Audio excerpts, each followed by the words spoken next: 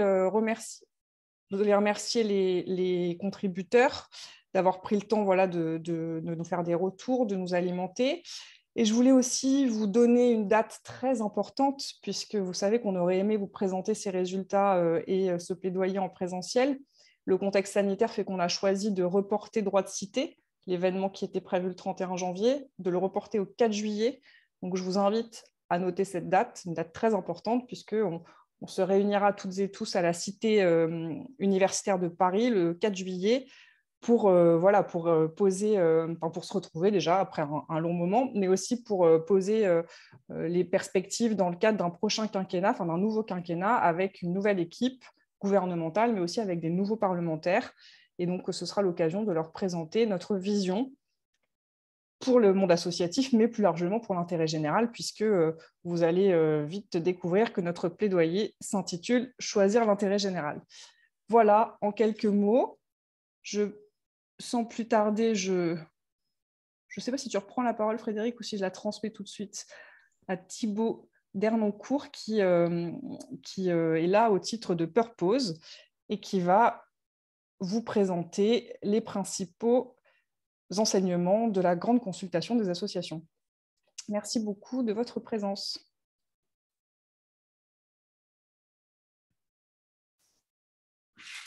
Bonjour à toutes et tous. Du coup, je ne sais pas si. Euh, voilà, je vois mon nom, donc j'en conclus que c'est à moi de, de, parler. Bonjour à toutes et tous. Donc, Thibaut Dermoncourt, je travaille pour Purpose. Purpose, c'est ce qu'on appelle une civic tech. Euh, si vous êtes présent à ce, webinaire de restitution, c'est que peut-être vous avez fait euh, plus que connaître le nom de Purpose, mais vous êtes allé sur la plateforme pour Le Civitech, c'est une série d'organisations, des entreprises ou des associations qui travaillent, euh, qui essayent de travailler à utiliser le numérique pour le placer dans des démarches constructives et faire en sorte que ces outils-là puissent être exploités pour permettre aux uns et aux autres de s'exprimer, de contribuer, de partager leurs idées. C'est dans ce cadre-là qu'on fait tout un tas de choses, euh, des co-constructions, le terme est un peu euh, très utilisé aujourd'hui, on fait des co-constructions de loi, on fait des co-constructions de plans stratégiques, on fait des co-constructions de plans d'aménagement de territoire. Et là, on a eu l'occasion de pouvoir faire un peu avec vous cette co-construction de, de plaidoyer avec l'objectif de pouvoir un peu dans cet exercice-là de, co-construction de plaidoyer, d'un peu essayer de définir s'il y a globalement plutôt une adhésion ou une convergence des propositions. Donc c'est ce qu'on verra, je ne vais pas trahir de suspense, vous êtes plutôt en phase entre ce qui est les idées initiales qui avaient pu être émises et celles, euh, celles que les participants ont pu, ont pu développer. Mais au-delà de cette idée de vérifier un peu l'adhésion entre vos idées et ce qui va être le produit de sortie, à savoir les, les propositions et les très engagements pour le plaidoyer, il y avait aussi cette idée de priorisation, c'est-à-dire qu'on voit à travers cet exercice-là que toutes les propositions ou toutes les idées ne sont pas celles qui font réagir le plus les uns ou les autres. Et donc, c'est ce que je vais essayer de vous, vous présenter euh, tout à l'heure. Et en tout cas, on est, tout à l'heure, un peu plus tard que, tout de suite, en fait. Et euh, je suis ravi de pouvoir faire cet événement aussi de restitution avec vous parce que, bah, en tant que participant, je pense que c'est quelque chose d'attendu. Euh, de pouvoir effectivement savoir à un moment donné ce que sont devenues les propositions des uns ou des autres. Donc moi aussi, je me joins euh, à, vos remerciements clairs pour pouvoir vous, dire aussi les, nôtres. Et puis cette idée que la, synthèse est un temps important, mais pas un temps définitif. C'est-à-dire qu'on n'est pas dans un sondage, on n'est là pas pour dire les Français pensent que ou euh, les représentants des associations pensent que. On a fait une consultation, on vous vous en présente ici les principaux résultats. Il y a des choses qui vont vous paraître très habituelles, il y a des choses qui vont peut-être vous surprendre, il y a des choses qui vont faire débat. Et c'est un peu sur ces points de débat aussi que je vais tenter d'axer la, présentation. Vous avez été euh, assez nombreux et je pense, euh, ouais, si vous pouvez passer la slide suivante, super, que euh, bah, finalement, vous, voilà, vous avez été à peu près 11 000 à, participer, ou en tout cas à, venir sur le site et à observer ce qui s'est dit. Plus concrètement, à pouvoir déposer des contributions, vous étiez un peu plus de 500. Euh, avec aujourd'hui 500 contributions et plus de 5000 votes. C'est le petit exercice que je vais essayer de vous faire, c'est-à-dire de vous, pas simplement vous dire, voilà, vous avez dit ça, ça, ça, mais d'essayer de vous restituer les points de débat. Euh, ou en tout cas ce qui a pu un peu titiller les uns ou les autres, ou ce qui peut être aujourd'hui euh, des, points intéressants, partant du principe que c'est plus intéressant plutôt que de vous raconter en, 20 minutes ce sur quoi déjà tout le monde est à peu près, à peu près d'accord, ce qui prendrait le risque d'enfoncer des, des, portes ouvertes. Donc voilà sur ces contributions. Euh, la, consultation a été structurée en quatre thématiques. Vous aviez favorisé l'engagement associatif, vous avez un deuxième thème qui était la structuration de la politique de vie associative, un troisième thème qui était reconnaître le dialogue civil et un quatrième thème qui était le développement des associations. Donc, je vais vous présenter un peu tous ces éléments-là euh, d'affilée, puis après, je pense que vous aurez l'occasion d'avoir des réactions ou des commentaires des, des, acteurs du mouvement associatif pour euh, eux-mêmes réagir à ces débats. Donc, sur l'engagement associatif, vous avez eu les propositions suivantes qui avaient été formulées sur la plateforme. Je le resitue pour les uns ou les autres qui n'avaient peut-être pas eu l'occasion euh, d'aller sur le site, c'est que vous n'arriviez pas sur une, page blanche et une copie blanche en disant voilà, déposez vos idées pour le mouvement associatif, on fait le, plaidoyer. Vous aviez déjà une, présentation qui était structurée et vous aviez donc un certain nombre de pré-propositions ou de pistes de réflexion qui étaient proposées par le mouvement associatif. C'est ce que vous voyez ici. Et la leçon générale, c'est que ces pistes de proposition ont toutes été quand même validées, on va dire, par les participants. Euh, vous voyez un exemple et une illustration ici sur l'engagement associatif, mais c'est une vérité générale sur toute la consultation. Vous avez la totalité de vos propositions qui ont euh, eu plus de 75% de votre faveur. Par contre, ce que vous voyez aussi, c'est que certaines propositions n'ont pas fait le même score de vote c'est l'illustration que vous avez plutôt avec les, chiffres en valeur absolue, où vous voyez que, par exemple, sur la question de l'engagement associatif, le sujet de l'école et du, euh, parcours civique renforcé à l'école a été celui qui vous a le plus mobilisé. Euh, quelques éléments de, je vais de vous pointer ici plutôt les éléments de débat en restant ici sur le fait de créer un parcours civique renforcé à l'école. La principale euh, réserve, puisque vous voyez avec le petit camembert orange qu'il y avait quand même, et le camembert rouge, et vous avez un quart des participants qui ont quand même douté de cette proposition-là, c'était sur le, fait que peut-être on demandait trop à l'école aujourd'hui et que euh, dans l'idée de créer un parcours civique renforcé à l'école, on voyait que finalement, est-ce que ces engagements-là ou ces enjeux-là on n'est pas trop en train de charger la barque au niveau de l'école. Non pas qu'il y ait l'idée de dire que c'est une mauvaise idée de, vouloir renforcer le parcours civique, mais plutôt de s'intéresser sur le levier ou en tout cas les capacités réelles à faire de, de, l'école. Ça, c'était le, critère un peu et l'observation, le point de vigilance, on va dire, euh, premier. Sur la deuxième proposition, qui était l'universalisation du parcours civique, euh, bah pareil, vous voyez un score d'adhésion assez large. Euh, c'est finalement les points de réserve concernaient peut-être plus le terme d'universalisation du parcours civique qui a posé débat, dans le sens où finalement l'universalisation a assez vite été comprise comme euh, une forme d'obligation. Euh, ou qu'on allait. Euh, alors, il y avait probablement là un peu en spectre le SNU derrière, mais qu'il y avait toute cette question de dire en fait le parcours civique, si jamais on veut garder l'esprit du bénévolat et de l'engagement associatif, il faut que ça reste sur de la contribution libre, volontaire, bénévole, et que dès lors qu'on touche à de l'obligation, on est un peu en train de rompre ce principe élémentaire. Et le troisième point sur faire vivre l'engagement tout au long des parcours de vie, vous aviez plutôt effectivement un constat très largement partagé, ou en tout cas pointé, qui était de dire que bah, effectivement il y avait une espèce de trou d'air dans l'engagement, avec euh, bah, un engagement associatif chez les jeunes, un engagement associatif chez les retraités, mais qu'on perdait aussi cette capacité d'avoir les actifs. Par contre, la, question derrière sur l'engagement tenait à la question aussi un peu des récompenses ou de la rémunération ou du défraiement, ou en tout cas de la possibilité de pouvoir associer, enfin de, de, pouvoir euh, stimuler cet engagement, et sur le fait qu'à nouveau, c'était peut-être une, position un peu, un, peu, un peu différente, ou en tout cas euh, un point de réserve que pouvaient avoir pas mal de, pas mal de participants. L'autre élément étant, on retrouvera pas mal, notamment sur toutes les autres thématiques, sur le développement, euh, le, développement économique, sur cette idée que la stimulation un peu de la jeunesse dans son engagement associatif a des conséquences volontaire ou la plupart du temps involontaire de retard dans l'entrée dans la vie active réelle, ou en tout cas que euh, fortement stimulé l'engagement associatif des jeunes, on retarde leur entrée sur, la vie, sur le, monde professionnel classique, on va dire classique ou, standard. Là, c'était ce que vous voyez ici sur les, slides qui sont, qui sont présentés ici, sont les cinq propositions les plus votées. Donc, on a choisi ici de mettre plutôt à l'honneur vos propositions supplémentaires. C'est-à-dire qu'il y avait, on vous l'a dit, il y avait 500, vous aviez une mise initiale de formulation proposée qui était de, 10, 13 propositions, et vous avez eu euh, au total 500 euh, propositions. Donc c'est plutôt ces propositions-là qu'on va mettre en avant. Euh, c'est celles qui correspondent à votre créativité ou ce que vous auriez souhaité vous ajouter ou renforcer dans le, dans le, dans le plaidoyer. La première sur l'expression du favoriser le bénévolat associatif, je vous laisse en prendre connaissance, mais elle est assez, euh, assez explicite par elle-même. La question du financement va se retrouver aussi dans les autres thématiques, mais revenue assez vite, notamment sur la distinction entre euh, bah, les associations qui sont très dépendantes des appels à projets et la nécessité aussi de financer le fonctionnement. Et ça, ça a été aussi un fil rouge qu'on a retrouvé à plusieurs reprises dans d'autres, dans d'autres, dans d'autres éléments.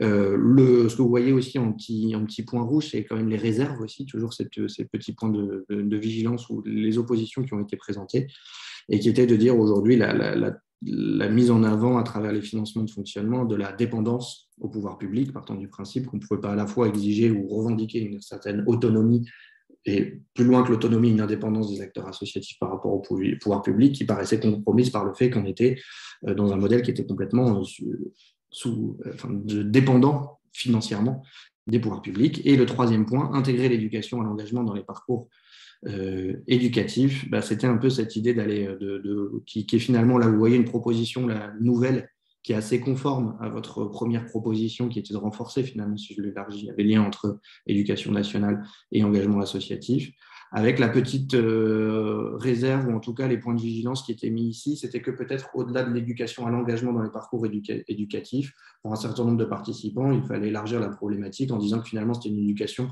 à la gestion de projet ou à la responsabiliser. Il ne s'agissait pas de dire aux gens euh, qu'il fallait s'engager pour s'engager avec une valeur un peu morale et un discours moral de dire s'engager, mais que finalement toute forme de responsabilisation collective, toute forme de projet collectif pouvait, pouvait fonctionner. C'est ce qui était aussi illustré ici en disant qu'une première manière de s'initier à l'engagement pouvait être la préparation des voyages de classe. On n'était pas tout de suite en train d'aller chercher des trucs extrêmement compliqués, euh, mais plutôt s'intégrer complètement dans la vie scolaire et dans les premiers éléments de base de la vie scolaire pour, euh, pour ces jeunes. Voilà, pour le, on a aussi deux autres propositions. Donc, euh, celle la consacrer une heure hebdomadaire de temps de travail. C'est la proposition qui a eu, euh, vous voyez qu'on est encore sur une adhésion large, mais il y a eu pas mal de points de réserve. Les points de réserve, ils étaient euh, les suivants. Première personne qui a dit que les entreprises n'avaient pas besoin de ça par rapport au coût du travail aujourd'hui. Et la deuxième, qui était plutôt pro, finalement, pro démarche, mais pointait le fait qu'avec une heure par mois, on ne faisait pas grand-chose et que euh, bah, c'était une, mesure euh, d'initiation, certes, mais que finalement c'était plus symbolique qu'autre chose et que ça n'aiderait pas beaucoup les associations de n'avoir qu'une heure. Les autres euh, points de vigilance étaient peut-être sur les passerelles possibles avec les dispositifs existants déjà, à savoir le mécénat de compétences, par exemple, qui sont des leviers plus ou moins parallèles ou, ou comparables, compatibles avec cette proposition et le tenter de mettre en place une implication d'éducation nationale. vous voyez qu'on n'avait pas de score rouge, donc pas d'opposition, mais dans les commentaires qui étaient pointés, on avait un peu cette idée que bah, finalement, pour un certain nombre d'acteurs associatifs, ils aimeraient bien que ce soit réciproque, à savoir que euh, le fait d'aller vers l'éducation nationale, c'est quelque chose qu'ils font souvent, très souvent, et sur lequel, pour certains, ils ont l'impression de s'être un peu cassé les dents, ou en tout cas euh, qu'ils le font déjà et qu'ils pourraient certes peut-être plus le faire, mais ce serait bien aussi que l'éducation nationale euh, saisisse un peu cette main tendue et qu'elle-même aussi, on le retrouvera sur d'autres propositions, fasse le, pas vers les associations et comprenne aussi, au-delà de comprendre l'intérêt des associations, comprenne plus explicitement le fonctionnement interne et les contraintes aussi des associations, ce qui n'a pas l'air d'être le cas tout le temps. Donc voilà sur cette, ce premier axe, on a un petit résumé qui est sur la slide suivante euh, des, points de débat sur lesquels vous serez amené tout à l'heure à, réagir. Mais euh, évidemment, la question de l'engagement bénévole est plébiscitée. Le contraire serait quand même étonnant euh, pour une, consultation, mais on voyait que sur les questions de l'école, on avait les quelques, quelques réserves qui pouvaient être faites. Et puis, alors pareil, j'imagine ici peut-être un, un, un, reliquat un peu des débats sur le SMI, mais il y avait toute une question sur la place des corps en uniforme euh, qui avait été relevée. La question qui était, la proposition qui était initiale, c'était de faire le lien avec justement euh, les pompiers, euh, la police, la gendarmerie, pour pouvoir un peu créer ces passerelles. Et ça a suscité quelques, un, petit peu d'émotion, enfin relativement toujours, mais il y a quand même eu quelques débats là-dessus. Et pareil, aussi une passerelle qui a été faite avec des débats que j'imagine réguliers chez vous, mais je les retranscris quand même pour les, celles et ceux qui sont, sont peut-être un peu moins familiers sur la place du service civique. Et cette question de, de, finalement à quel moment euh, le service civique, plutôt que de généraliser, est-ce qu'on n'a pas l'intérêt déjà tenter de l'améliorer, donc sur les questions d'encadrement, euh, sur la question du contrôle, sur la question de la diffusion des offres et l'accès au plus grand nombre de la, connaissance des services civiques, et puis aussi la question aussi qui était posée de, de, ces emplois déguisés, ou en tout cas euh, en multipliant des dispositifs un peu intermédiaires entre euh, l'engagement associatif bénévole, la vie associative moyennant rémunération ou autre, la porosité trop, trop, euh, trop limitée peut-être avec aussi les, stages. Voilà, dans cette thématique, j'ai été peut-être déjà un peu trop long, mais j'ai déjà amorcé pas mal de débats euh, qui vont avoir lieu un peu plus tard et qui regroupent les autres thématiques. Donc, je vais aller un peu plus vite sur les autres propositions, pas non plus pour vous, trop vous, casser la tête, mais le, cette synthèse sera rendue disponible sur le site et sera transmise à tous les participants, en tout cas à tous ceux qui avaient accepté de recevoir de l'information en donnant leur consentement, donc dans le plus pur respect du RGPD. Mais on vous donnera tous ces éléments-là. Euh, en tout cas, ils seront disponibles aussi sur le site du mouvement des associatifs.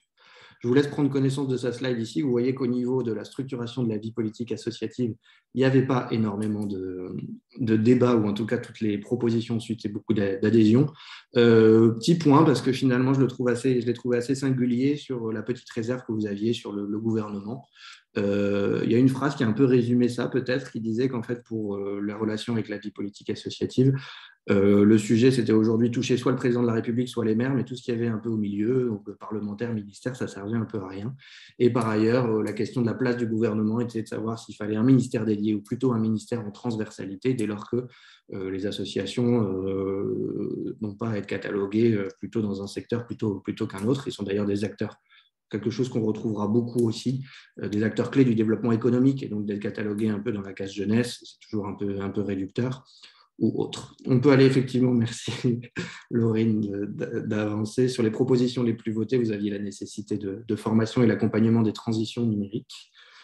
Euh, la, question de la, formation revient, beaucoup. Alors, on a eu aussi pas mal de, choses sur la question de la formation, qui était aussi, euh, bien de, des formations pour les acteurs du service public pour mieux connaître les acteurs du monde associatif que des formations en interne pour le secteur associatif pour pouvoir euh, avoir les éléments, les connaissances de base euh, sur le fonctionnement des associations et être un peu mieux peu mieux géré. Et les points de réserve que vous voyez considèrent à dire que tout cela existait déjà largement et abondamment, donc peut-être qu'il fallait mieux les faire connaître ou peut-être revoir les formats, mais que ce n'était pas non plus des créations euh, qu'il fallait envisager. Je vous laisse avancer sur la slide suivante. Les points d'accompagnement et les organisations des états généraux de la vie associative. Euh, Les quelques réserves que vous pouvez voir, là, effectivement, sur la démarche des observations d'observation locale, non, non, on y est, on peut réserver ici. Euh, la question était sur la question des, à nouveau sur ces contrats qu'on retrouvera sur les, slides un peu suivantes aussi, sur le contrat avec les collectivités territoriales, c'est-à-dire qu'autant tout le monde est à peu près d'accord sur dire qu'il faut faire de la co-construction. Par contre, est-ce que la co-construction, si ça consiste à... Il faut que ce soit vraiment un exercice relativement euh, sincère et efficace, dans le sens où il y a parfois un sentiment que c'est plutôt un peu comme les états généraux qui étaient cités jusqu'à présent, un moyen d'écouter ou plutôt de faire semblant d'écouter, mais que finalement les élus, s'ils restent à décider un peu eux-mêmes et qu'ils ne sont pas réellement dans la démarche, avec les acteurs locaux associatifs, notamment sur une projection de long terme, peut-être plus que de dire que les élus et les associations étaient en, confrontation. C'était un peu le fait de dire que dans ces cas-là, on passait d'appel à projet en appel à projet. Et ce qui est un peu plus dur pour les associations, c'est d'avoir une vision un peu plus long terme et d'avoir une vision un peu plus claire des objectifs, notamment au niveau d'un territoire, pour pouvoir elles-mêmes inscrire leur action dedans. Et puis sur la question des démarches d'observation, il y avait la question qui était posée aussi de la place euh, de, ces démarches d'observation locale avec les, démarches aussi d'observation régionale et euh, la question de l'échelon territorial qui, était, qui nous était posée. Voilà. Euh, je vous laisse aussi prendre connaissance ici de la, la slide. Un point qu'on a pas mal euh, retrouvé, mais un peu en fil rouge aussi, c'était la tension entre des dispositifs qui sont euh, finalement plutôt faciles d'accès pour euh, les têtes de réseau et les grandes associations. C'était notamment la retrouver sur l'aide au numérique, qui était peut-être plus utile pour les petites associations et qui devraient pouvoir qui devraient pouvoir trouver aussi leur accès. Mais c'était un peu dans les points de vigilance, de pouvoir dire aussi que dans les dispositifs qui est mis en place, d'avoir quand même toujours cette attention aux petites associations, avec ce sentiment que parfois euh, ça n'allait pas, euh, n'arrivait pas jusqu'à elles, euh, là où au contraire les têtes de réseau ou les grosses associations avaient beaucoup plus de facilité d'accès. Donc, ici sur la création du fonds de soutien aux initiatives citoyennes. La petite réserve que vous aviez, c'était la nécessité euh, d'articuler la création du fonds de soutien avec la question de l'évaluation, en considérant que bah, peut-être que dans certaines initiatives citoyennes, toutes n'avaient pas énormément d'impact et que finalement, l'augmentation des, évaluations, ou en tout cas la, la systématisation de ces évaluations, ne serait pas totalement inutile. On peut passer à la slide suivante. Alors, sur la question de la réforme du, CESE, qui était très détaillée, comme vous pouvez le, voir ici, euh, donc vous avez un fort taux d'adhésion et les quelques réserves qui étaient émises étaient, euh, doubles. On le retrouvera sur une autre slide. Après, la première réserve, c'est de finalement pouvoir, euh, à ce qu'on appelle à travers la réforme en profondeur du CESE, c'était de cesser, enfin en tout cas de compléter ces pouvoirs consultatifs par un pouvoir d'interpellation ou en tout cas si ce n'est un veto, en tout cas d'aller un peu plus loin. Donc, pour celles et ceux qui connaissent l'histoire du CESE, c'est un éternel un peu débat, ou en tout cas c'est un débat récurrent. Par définition, c'est des instances consultatives, mais en tout cas, il y avait cette idée de pouvoir être quand même un peu plus que consultatif-consultatif, puisque par définition, consultatif-consultatif, ça, ça, revenait un peu à dire que ça fait des avis et ça produit des recommandations, mais que dès lors qu'il n'y a aucun pouvoir contraignant, ça n'a pas beaucoup euh, d'impact. Par contre, sur la réforme aussi, il y a quelques-uns qui ont tenté de signaler euh, j'imagine que peut-être Claire, vous pourrez nous en dire un mot aussi, mais que cette réforme est déjà en cours, ou en tout cas qu'il y a une première phase d'initiative de, révision euh, à nouveau du CESE, que globalement le CESE se réforme aussi un peu lui-même régulièrement, euh, mais qu'il faut peut-être, cette, réforme étant ne datant que d'il y a quelques mois et commençant à peine à être active, peut-être qu'il faut laisser un peu de temps aussi au, CESE pour mettre en place ça, mais par contre, est-ce qu'elle va toucher jusqu'au Césaire? Là, c'était un débat plus, plus conséquent. Euh, bah, mieux informer, former les acteurs du, monde associatif. Effectivement, c'était un peu ça, revenait, ça revenait à la question à la slide précédente sur la question des, formations. Et puis, je veux bien qu'on avance sur la slide suivante, s'il vous plaît. Voilà, on retrouve les généralisations des méthodes d'accompagnement et d'audit. À noter qu'on parlait ici plutôt de questions d'audit interne. Hein. Euh, on n'est pas en train de d'aller demander euh, dans les propositions à McKinsey de systématiquement aller passer derrière les associations. Je pense qu'on était plutôt sur des notions d'accompagnement audit qui était le prolongement un peu, en tout cas je l'interprète comme ça, comme euh, le prolongement des, euh, propositions de, relais des observatoires locaux. Je ne sais pas si c'est tout à fait exact, mais en tout cas, dans les contributions, j'ai vu quelques fils rouges entre cette idée d'aller dans l'observation, puis après d'aller aussi un peu plus dans euh, l'audit. Mais audit, vous voyez le titre, hein, audit accompagnement, donc pas la notion d'audit sanction ou un peu, c'est pas la Cour des comptes qui vient débarquer dans les associations, hein, c'est plutôt cette notion d'aide à l'accompagnement qui fait, euh, qui fait lien avec toutes les, propositions qui étaient relatives à la question de la formation des dirigeants d'associations, des bénévoles, mais aussi des dirigeants d'associations. Euh, au niveau des points de débat, la question de l'échelon territorial était posée, c'est-à-dire que bah, aujourd'hui, les, le lien avec euh, les régions, pareil, pour certains trop éloignés, en tout cas ne permet pas d'être un acteur de proximité suffisamment, suffisamment efficace. Et puis, c'est aussi une notion d'observation.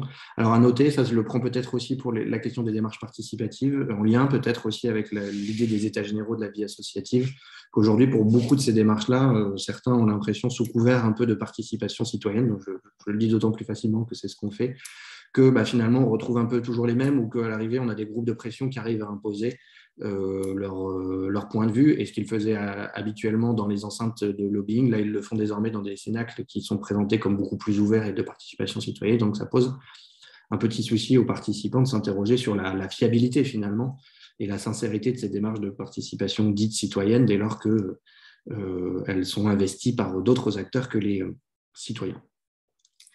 On peut passer à la slide suivante et je pense que je suis à peu près dans le timing.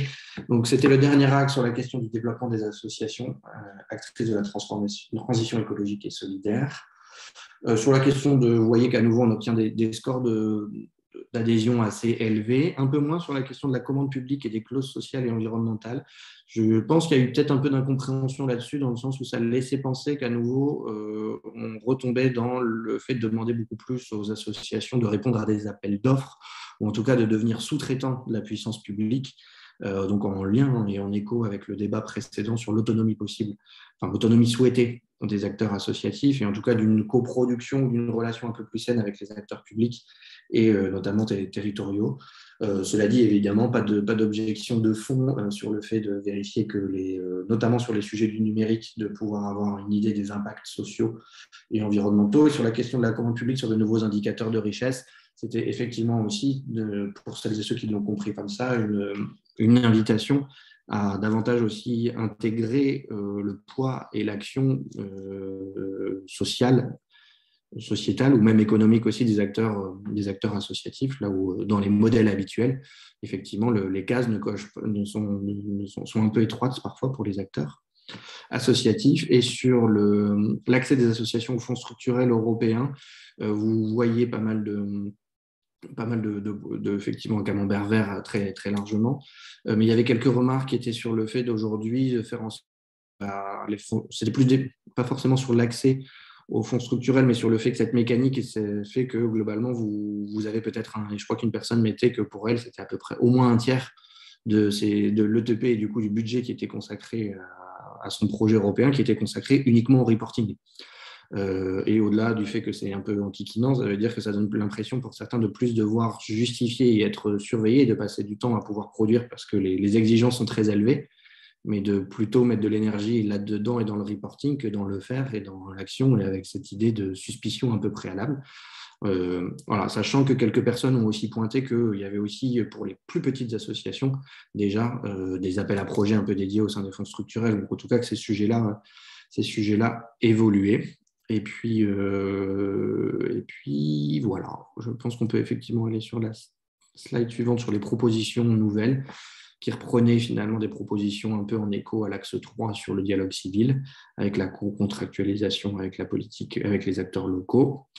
Et puis sur l'outil et la, contribution des entreprises à la recherche et l'innovation, le point rouge que vous voyez ici venait de personnes qui considéraient qu'on trouvait l'idée intéressante, mais s'arrêtaient un peu à la position de principe et auraient mérité, puisque c'est une proposition euh, d'un internaute ou d'un participant, d'être développée plus, plus concrètement. Euh, je pense que j'ai à peu près fini. Il y a peut-être encore une slide, Laurine.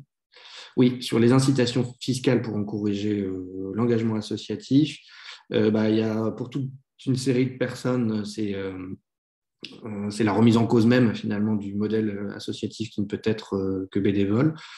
pour d'autres personnes, ça devient même une invitation ou en tout cas le fait de partir du principe que bah, seules les personnes favorisées qui payent des impôts en France sont les bénévoles et les retraités et que finalement, ce n'est pas non plus ces personnes-là qui ont le plus besoin d'être aidées.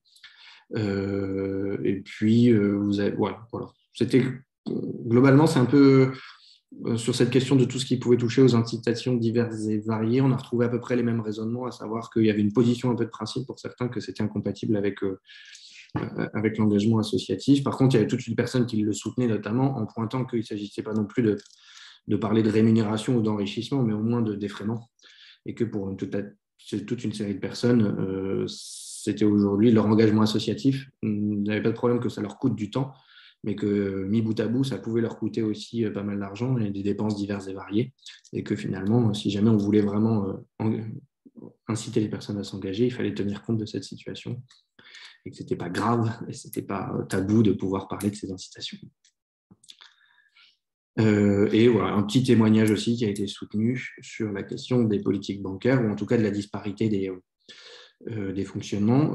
J'élargis à un point qui avait été remonté aussi par les uns ou les autres, qui, qui posait la question de savoir si à un moment donné, il n'y avait pas des possibilités de mutualisation, ou en tout cas sur un certain nombre d'outils de gestion de trésorerie, euh, d'outils de gestion de planning, d'outils divers et variés, de savoir si finalement, euh, plutôt que chaque association euh, travaille un peu dans son coin là-dessus, en tout cas qu'il ne puisse pas y avoir une forme d'unification. je pense que un parallèle a pu être fait aussi à un moment donné par certains avec cette, mutualisation parfois, cette couverture, on va dire, des assurances qui peuvent exister pour, pour certains en permettant aux associations de bénéficier d'un peu de, de contrat, pas dire de contrat cadre, mais en tout cas de, phénomène de mutualisation qui permet aux petites associations plus facilement de, bénéficier des, moyens et des outils euh, qu'elles n'auraient pas à leur portée dès lors qu'elles sont trop petites. Donc voilà, pardon d'avoir peut-être soit été trop rapide, soit d'être passé trop au survol. À nouveau, la, synthèse complète euh, qui été très intéressante à faire sera présente sur le, le site internet. Et puis je pense que l'élément le plus intéressant sera ah oui, il y avait quelques commentaires aussi nouveaux qu'on voulait, voulait redéfiler. Euh, plutôt, voilà, je, les regarde à nouveau, mais je pense que je les ai parcourus plutôt euh, à l'oral. Donc, ces éléments-là sont plutôt à soumettre au, débat maintenant. Euh, et toujours sur cette idée que globalement, il y avait pas mal de convergence, en tout cas, vous allez à peu près tous dans le même sens, mais qu'il y a plutôt des points de nuance, des, appels à la subtilité aussi en disant que oui, on voit bien les idées, mais faites attention à. Euh, il ne faudrait pas que ça dévoie vers. C'est des, formules qui, sont, qui ont été beaucoup reprises, mais qui, qui ne marquent pas d'opposition farouche à toutes vos propositions et à ce que vous voulez faire, mais qui pointent quelques dérives ou en tout cas qui souhaitent attirer votre attention sur quelques points de difficulté que peuvent rencontrer les uns ou les autres. Merci beaucoup euh, Thibault pour cette présentation. Effectivement un exercice euh, difficile, puisqu'elle était à la fois synthétique mais euh, riche de contenu. Donc, euh, je le redis, puisqu'on a des questions qui arrivent, des, des, points qui arrivent, tout sera disponible, effectivement. Thibault l'a dit, je vous le redis. la synthèse, enfin, le PowerPoint vous sera adressé avec, vous pouvez retrouver tous ces, tous ces détails avec la, la synthèse de la consultation. C'est évidemment difficile de, rendre en, quelques minutes euh, toute la, richesse des commentaires qui ont pu être faits, mais bravo Thibault, je trouve que c'était quand même déjà beaucoup de choses. On va essayer de poursuivre un peu euh, cette restitution justement euh, avec des, regards d'acteurs du mouvement associatif sur ces quatre axes. On, va peut-être vous, redonner quelques éléments sur la façon dont au mouvement associatif on a on a pris euh, connaissance de ces, euh, de ces propositions et des commentaires qui les, qui les accompagnaient. Euh, et donc, pour ça, on a un panel avec Claire Toury, donc la présidente du mouvement associatif, Simon Thiraud, qui est le secrétaire général du mouvement associatif, et qui suit plus particulièrement les questions liées à l'économie. Hubert Pénicaud, euh, qui est administrateur du mouvement associatif et qui suit plus particulièrement la question liée à l'engagement. Et moi-même, je reviendrai sur la, partie euh, liée au dialogue civil. Et euh, on prendra ensuite une quinzaine de minutes pour réagir aux, commentaires que vous avez pu poster les uns et les autres. Je vous rappelle qu'il vaut mieux privilégier pas qu'il il faut utiliser l'espace questions-réponses euh, pour que nous puissions prendre connaissance de vos commentaires et questions et euh, essayer d'y apporter euh, quelques éléments ou y réagir en tout cas. Et je passe donc tout de suite la parole à Hubert Pénicaud qui va réagir aux, remarques, aux propositions, commentaires qui ont pu être faits sur, sur l'axe engagement. Donc je le redis, Hubert suit plus particulièrement les, les sujets liés à l'engagement chez nous et en étant très engagé chez France Bénévolat. Hubert, je te laisse la parole. Exactement. Merci euh, Frédéric et bonjour euh, à tous. Voilà, alors euh, merci Thibault hein, pour cette restitution assez complète. Hein. Beaucoup de choses ont déjà été dites, donc je vais te donner quelques éléments d'appréciation. La, première chose, c'est qu'on voit bien qu'effectivement, il y a beaucoup de travaux qui ont déjà été faits par nos différents réseaux et que l'essentiel des retours et des réactions donne vont dans le sens des propositions qui ont été faites. Et puis, il y a quelques propositions nouvelles qui euh, permettent euh, d'approfondir, d'éclairer différemment, d'apporter aussi un petit peu de, créativité sur ces questions d'engagement. Alors, premier élément qui est important de, se rappeler, hein, c'est qu'on voit bien dans la restitution qu'il y a un enjeu de sens qui est très fortement posé par les, uns et les autres, hein, avec les problématiques euh, de risque d'instrumentalisation qu'on voit bien euh, sur les questions d'engagement, et puis euh, ce débat assez récurrent autour de l'obligation qui est balayé d'air vert hein, en disant la question de l'engagement, elle est bien sûr sur une base de, liberté et de, et de volontariat. Et, et en filigrane, hein, justement aussi pour lutter contre cette question d'instrumentalisation, on voit bien que beaucoup de commentaires et de réactions vont dans le sens d'une question de la, qualité hein, et, euh, euh, interroge aussi euh, l'ensemble des structures qui accueillent aussi bien des bénévoles que des volontaires sur la qualité de l'accueil qui est, qui est proposé. Deuxième sujet, et puis qui est un petit peu en, lien, euh, Thibault l'évoquait, c'est le, petit débat qu'on a pu voir dans les, dans les réactions autour de la question de l'universalité. Hein. Et donc, euh, je le redis bien euh, euh, sur cette, cette question-là, et puis c'est aussi la façon dont, beaucoup de nos réseaux portent le, sujet, c'est bien la question de l'ouverture des formes d'engagement à tous, hein, et avec la capacité que l'on a à permettre à, notamment à ceux qui sont les plus loin, les plus éloignés des logiques d'engagement, de pouvoir effectivement trouver la possibilité, aussi bien dans le bénévolat que dans le volontariat, le service civique, la possibilité de pouvoir euh, effectivement euh, s'engager. Donc c'est important de se le redire, euh, tant on sait que la question de l'engagement, en tout cas en France, est plus facile quand on est dans les catégories socio-professionnelles un petit peu élevées hein, et qu'il y a une vraie difficulté, un vrai challenge pour nous. Hein, et donc le débat le, montre bien. Et puis du coup, sur cette question de l'universalité, euh, et, de l'accès à tous, euh, et envie de dire aussi tout au long de, la vie, ça pose la question euh, de la diversification des, modes d'engagement. Aussi bien dans le bénévolat que dans le volontariat, avec notamment cette question autour des actifs hein, qui est particulièrement pointée. Elle fait l'objet d'ailleurs d'une proposition, hein, c'est cette proposition d'une heure hebdomadaire de temps de travail qui serait consacrée à de l'engagement associatif, hein, euh, dont on voit qu'elle fait à la fois l'objet d'une assez forte adhésion, et puis euh, elle recueille aussi pas mal d'arguments euh, contre. Hein. On voit bien que c'est une idée intéressante, certainement encore un petit peu à approfondir, à, creuser, mais pas forcément très simple, puisque l'argument principal qui est posé, c'est de dire Comment fait-on pour imposer cette idée euh, en France alors qu'on sait que euh, le coût du travail euh, est un frein assez, important Donc là, on voit qu'il y a une petite tension. Voilà. Mais en tout cas, c'est intéressant parce qu'on comprend aussi que autour de la question du bénévolat des actifs, il y a un peu de créativité à avoir. Hein, et, voilà, même si on a vu que ces dernières années, c'est autour des, des 30-45 ans que le bénévolat a pas mal progressé. Voilà, et puis, euh, le dernier euh, enjeu que fait apparaître euh, ces propositions et puis le, débat que ça, fait naître, c'est bien sûr la question autour de la reconnaissance, de la valorisation et de l'expérience et des, compétences, un sujet important et, forcément qui, nous fait faire un tout petit détour par le petit débat qui était au cœur aussi de la, consultation autour du, statut du, du bénévolat. Euh, puisqu'on voit bien que dans le débat euh, tel qu'il a été posé par les uns et les autres, euh, plus que le statut, c'est bien la question de la reconnaissance et, la valorisation du bénévolat qui est, qui est en jeu. C'est intéressant de noter que 75% des contributeurs seraient plutôt pour un statut du bénévole et que dans le même temps, 75% des arguments qui sont développés sont des arguments contre l'idée d'un statut. Il y a une petite tension là qui est intéressante qui montre que il y a un sujet qu'il faut qu'on approfondisse euh, très, très certainement, très centré sur la reconnaissance et qui pointe très certainement en particulier la question du statut des dirigeants associatifs. Hein, donc là, il y a certainement quelque chose à, approfondir. Euh, en tout cas, c'est l'occasion euh, et, pas mal d'arguments qui sont livrés à notre réflexion. Voilà, rapidement évoquer quelques points sur les questions autour de l'engagement. au suivant. Merci.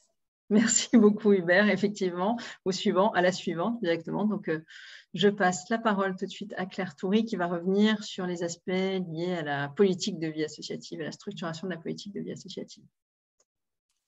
Merci. Oui, merci hein, Thibault. Merci beaucoup d'avoir euh, réussi à synthétiser tout ça. C'est pas facile et il y a vraiment beaucoup, beaucoup d'éléments. Donc, euh, vraiment, c'est très riche. Alors, sur la question de la structuration de la politique de vie associative, moi, ce que, ce que je retiens, enfin, ce qui ressort, et j'essaie de, répondre sans vous parler du plaidoyer, puisqu'on va y venir dans un deuxième temps. Donc, ce n'est pas facile de, de, trouver le, bon ton. Mais euh, moi, pour moi, ce qui ressort, c'est la nécessité de bien réaffirmer la spécificité ou les spécificités du monde associatif dans la diversité de ce qu'on représente. Et on voit qu'il y a euh, une difficulté quand même, ça ressort aussi dans les, les réactions des uns et des autres à nos propositions, une difficulté de positionnement vis-à-vis des pouvoirs publics, puisque euh, la question de l'indépendance du monde associatif se pose, mais la, question de la reconnaissance financière du monde associatif se pose aussi. Donc il y a un, petit, il y a un nœud là qui, euh, qui ne date pas d'aujourd'hui, et je ne suis pas certaine qu'on réussisse à le régler euh, ensemble là dans les prochains mois, mais c'est quand même important de, de le souligner. Alors du coup, la question qui se pose, c'est qu'est-ce qu'on est finalement, nous, acteurs associatifs? Que sont les associations? Il y a plein de choses.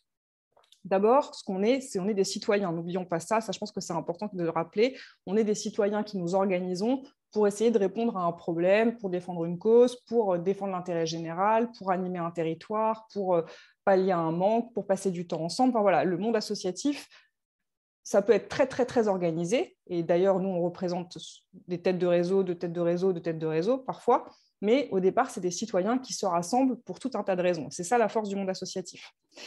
Les associations, c'est aussi ce que ça n'est pas. Et ça n'est pas un service public, on n'est pas les pouvoirs publics, on n'est pas un service public, mais on n'est pas non plus du privé lucratif. Et ça, c'est aussi important. On est un peu un, tiers secteur, certains nous appellent comme ça, où on n'est voilà, on n'est pas... Euh, on n'est pas euh, des délégataires de services publics, en tout cas pas tout le temps, et on n'est pas non plus euh, dans du privé lucratif.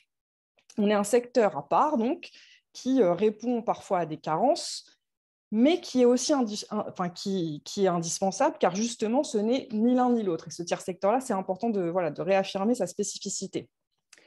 En ça, puisqu'on n'est pas les pouvoirs publics, puisqu'on n'est pas un service public, on est capable d'être beaucoup plus innovant et beaucoup plus agile. Vous savez, enfin, je ne vais pas, euh, pas vous redire euh, à quel point les services publics peuvent être euh, rigides, bureaucratiques, etc. Mais nous, on n'est pas comme ça. Donc cette innovation, cette agilité, ça nous permet parfois d'aller plus vite et de faire plus de choses. Ce qu'on est aussi, c'est qu'on est beaucoup plus en prise avec la réalité, avec les aspirations de vie des individus et des habitants, avec leurs besoins. Pourquoi? Parce qu'on est l'émanation directe de ça. Donc ça, c'est aussi important de le réaffirmer. On n'est pas lucratif, on n'est pas, euh, on, on est le secteur non lucratif. Ça, c'est aussi important parce que ça veut dire qu'on ne raisonne pas en termes de rentabilité. On va là où d'autres ne vont pas. On est en capacité de répondre à des besoins que d'autres, auxquels d'autres ne répondent pas. Il y a tout un tas de secteurs comme ça qui, euh, le montrent bien, l'aide à domicile notamment, mais pas seulement. Hein, euh. On ne va pas revenir sur le scandale des maisons de retraite, mais on, voit bien que parfois, s'enrichir, enfin, le lucratif n'est pas toujours la bonne réponse à, certains besoins. Donc, on est un secteur indispensable. Et pour ça, je viens, je, viens dans, mon, je continue le, fil de mon raisonnement. Pour ça, on doit être soutenu et reconnu. Et c'est ce qu'on dit en fait, dans, enfin, c'est ce qu'on va dire dans notre plaidoyer, on va vous l'expliquer. On doit être soutenu et reconnu dans notre diversité, ça c'est important, dans ce qui est commun à tout le monde associatif, mais aussi selon les secteurs et selon les territoires. On doit aussi être mieux connu. Ça, c'est un, enjeu pour nous. C'est être mieux connu dans nos spécificités. On doit mieux faire connaître notre poids économique. Ça, c'est aussi apparu dans les réactions à la consultation. Et on doit mieux faire connaître les innovations dont on est vecteur, dont le monde associatif est vecteur. Troisième point, parce que ça, je, vois qu'il y a eu aussi euh, beaucoup de réactions sur euh, l'organisation au sein du futur gouvernement, euh, comment est-ce qu'on va être représenté dans la future architecture gouvernementale. Ce qui est important, c'est, enfin, ce que je retiens, c'est qu'il faut qu'on soit, le secteur associatif doit être incarné pour lever les freins, parce qu'on est souvent confronté à un certain nombre de freins, pour faciliter le quotidien des petites et des grosses associations, enfin de toutes les associations, quelle que soit leur taille, mais notamment des petites. Et dernier point, euh, je l'avais pas, enfin je, le retiens en, écoutant ce que disait Thibault, je l'avais pas retenu euh, à première vue, mais euh, il y a un vrai sujet, il me semble, d'effectivité, parce qu'il y a beaucoup de choses qui sont demandées dans le cadre de la consultation et beaucoup de réactions à nos propositions qui relèvent finalement de l'effectivité. Il y a déjà des dispositifs d'aide à la vie associative, de soutien à la vie associative, mais euh, qui ne sont pas mis en œuvre en fait. Et donc il y a un vrai enjeu de, rendre effectives toutes, euh, toutes euh, ces mesures. Voilà, je vais arrêter de parler parce qu'en plus il y a un camion de pompiers qui passe à côté de chez moi, donc ce n'est pas très agréable, mais je, rends la parole à Frédéric. Merci beaucoup Claire. du coup, je, vais garder la parole quelques minutes pour revenir pour ma part sur euh, l'axe 3 et les, propositions et commentaires qui ont pu être faits autour de la question du dialogue civil. Euh, alors pour préciser d'abord que c'est sous le contrôle de Thibault, mais ça n'est pas la partie qui a suscité le plus de, commentaires et de contributions. C'est le moins qu'on puisse dire. voilà. Bon, ce qui paraît, assez naturel, ceci dit, hein, la question de l'engagement, de la structuration de la politique de vie associative ou, la question des, finances euh, associatives et de la place des associations dans l'économie ont, suscité plus de débats peut-être parce que cette question du dialogue civil, comme euh, nous avons choisi de l'appeler, euh, est évidemment un sujet important, mais qui dépasse évidemment la, seule question euh, associative, qui touche aussi à des questions de participation plus larges et qui nécessite aussi d'entrer dans des, sujets qui peuvent paraître un peu arides, que ce soit sur la répartition des compétences territoriales ou sur le, rôle des différentes institutions. Euh, je vais pour ma part revenir rapidement sur euh, trois, trois, points issus de, la consultation.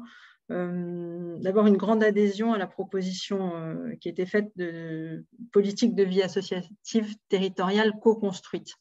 on voit bien à travers de, cette adhésion l'importance de ce travail décentralisé et déconcentré. la vie associative, elle est sur les territoires, partout en France avant tout. Et donc, évidemment, les politiques de vie associative, elles se construisent, elles doivent se construire à ce niveau-là, au moins autant qu'au niveau centralisé, au niveau national, si ce n'est plus. Donc, évidemment, ça n'est pas une piste pour nos propositions pour l'élection présidentielle, euh, encore que, il peut y avoir ensuite des, propositions de nature législative, mais c'est évidemment un chantier qu'on doit euh, euh, garder très largement ouvert pour voir de quelle façon on améliore la façon dont les politiques de vie associative se mettent en œuvre et se construisent avec les acteurs territoriaux, en travaillant sur l'échelle aussi, les niveaux régionaux évidemment, mais je crois qu'il y a aussi un certain nombre de commentaires pour dire qu'au niveau départemental, local, il y a des choses à construire et ça passe par plein de leviers différents. Ça peut être à la fois législatif, en revenant par exemple sur euh, un certain nombre de points de la loi NOTRe qui répartissait les compétences entre les, entre les collectivités, euh, aussi avec un travail direct euh, avec le terrain, avec les, exécutifs régionaux. Et je pense que de, ce point de vue-là aussi, le, sujet que le mouvement associatif porte assez fortement autour des chartes des engagements réciproques et de leur déclinaison territoriale est un élément important. On, y reviendra euh, dans un deuxième temps avec la présentation de, notre plaidoyer. Euh, le deuxième point sur lequel je vais revenir, c'est la, proposition qui a été soumise par les participants sur la réforme en profondeur du CESE et des CESER, donc le Conseil économique, social et environnemental et les conseils économiques, sociaux et environnementaux régionaux. Je le précise puisqu'il y avait des questions sur les sigles et évidemment, des fois, on a peut-être un peu tendance à se perdre dans nos sigles. Euh, l'objet de la proposition qui a été faite euh, par les participants, c'est de revaloriser le, rôle du CESE et des CESER et de les ouvrir plus largement à la participation. Donc, c'est évidemment un, axe intéressant. Le, CESE, c'est la chambre euh, de la société civile organisée, du dialogue civil. Euh, le mouvement associatif avait déjà euh, apporté déjà depuis quelques années euh, l'idée d'un plus grand rôle du CESE et des Césaires et d'une plus grande ouverture. mais Thibault l'a dit, il y a eu une réforme récente qui date de 2021 sur laquelle nous avions poussé un certain nombre de choses qui n'ont pas toutes été prises en compte, hein, mais qui allait dans ce sens d'une plus grande ouverture, d'une plus grande participation. Ceci dit, il y a quand même des, points euh, de la réforme qui, peuvent permettre ces évolutions-là. Euh, associer les citoyens non pas en permanence, mais, de façon euh, régulière, euh, et permettre aussi une, meilleure euh, prise en compte du travail du CESE en particulier.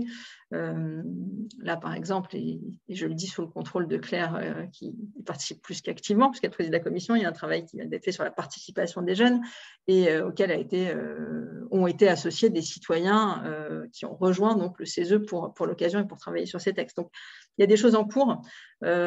Et donc, avant de reporter, de porter à nouveau une proposition euh, très ambitieuse de réforme, il nous semble que c'est intéressant d'évaluer déjà ce que ça produit, la façon dont ça se passe et comment on peut ensuite aller plus loin. Euh, avant de reproposer immédiatement une réforme d'ampleur. le lien entre le CESE et les Césaires, pour le coup, doit aussi effectivement être fortement renforcé. Alors nous, on, y travaille à notre échelle, hein, en essayant déjà d'améliorer le, les liens entre les représentants associatifs au CESE et les représentants associatifs, dans les Césaires pour, pour créer une dynamique euh, interne plus forte. Enfin, une proposition qui a suscité des commentaires euh, sur le fonds de soutien aux initiatives citoyennes, qui est une proposition euh, qui avait été faite par le, mouvement associatif. On va y revenir euh, dans la, présentation de notre plaidoyer, puisque ça reste une de nos propositions. Juste préciser, puisque ça fait l'objet d'un certain nombre de commentaires, que l'objet de cette proposition n'est pas de rendre obligatoire des démarches de participation. Et, je crois qu'une des remarques, c'était de dire que du coup, les groupes de pression s'en saisiraient.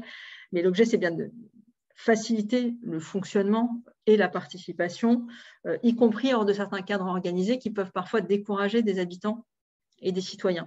Et donc, euh, l'idée, c'est bien d'avoir un, outil complémentaire d'un certain nombre de lieux de participation plus institutionnels, ce qui peut ensuite conduire à ce que euh, ces citoyens qui seront emparés de ces outils rejoignent le tissu associatif ou des instances de concertation spécifiques. Mais dans un premier temps déjà, permettre cet accès à la participation, à l'initiative des citoyens et des habitants eux-mêmes. C'est l'objet de ce fonds de soutien, mais encore une fois, on y reviendra sans doute euh, un peu plus. Et je passe aussitôt la parole à Simon, qui va donc conclure ce, tour de, présentation avec euh, les aspects liés euh, aux propositions économiques. Donc Simon Thiraud, qui est secrétaire général du mouvement associatif et délégué général de l'UNAT, l'Union des associations de tourisme. Merci Frédéric. Le, quatrième axe euh, concernait le soutien au, développement des associations dans le cadre de la transition écologique et, solidaire, et donc concernait plus particulièrement euh, la question du financement des associations, du modèle économique des associations et de, l'emploi. Claire l'a dit dans son, propos tout à l'heure, il y a finalement dans ce tiers secteur autant de modèles qu'il y a d'associations. On, le sait tous, on est très difficile de dupliquer un modèle euh, parce que chaque association est là, euh, parce que des citoyens ont décidé de travailler ensemble pour répondre à un besoin euh, et que ce besoin il peut être lié à un temps donné, à un territoire donné, et que donc forcément toutes les associations ne sont pas employeuses, toutes les associations n'ont pas les mêmes modèles économiques, et pourtant, on y reviendra aussi dans les propositions que nous ferons, les associations sont vraiment partie intégrante de la vie économique de notre pays, et on doit euh, chercher à pérenniser, à ancrer, à dynamiser encore plus ce, secteur-là, euh, notamment euh, car les associations portent un modèle où effectivement il y a la nécessité d'être rentable, d'avoir un équilibre économique, mais il n'y a pas la nécessité de financer des actionnaires euh, et tout doit se réinvestir dans le projet qui a été choisi, le projet politique, le projet social euh, choisi par ceux qui ont créé l'association. Donc on a posé, vous avez vu un certain nombre de, questions, je reviendrai sur quelques points parce que d'autres seront prolongés dans le cadre des, propositions. Euh, nous avions évoqué le fait de pouvoir généraliser les clauses sociales et environnementales dans les marchés publics.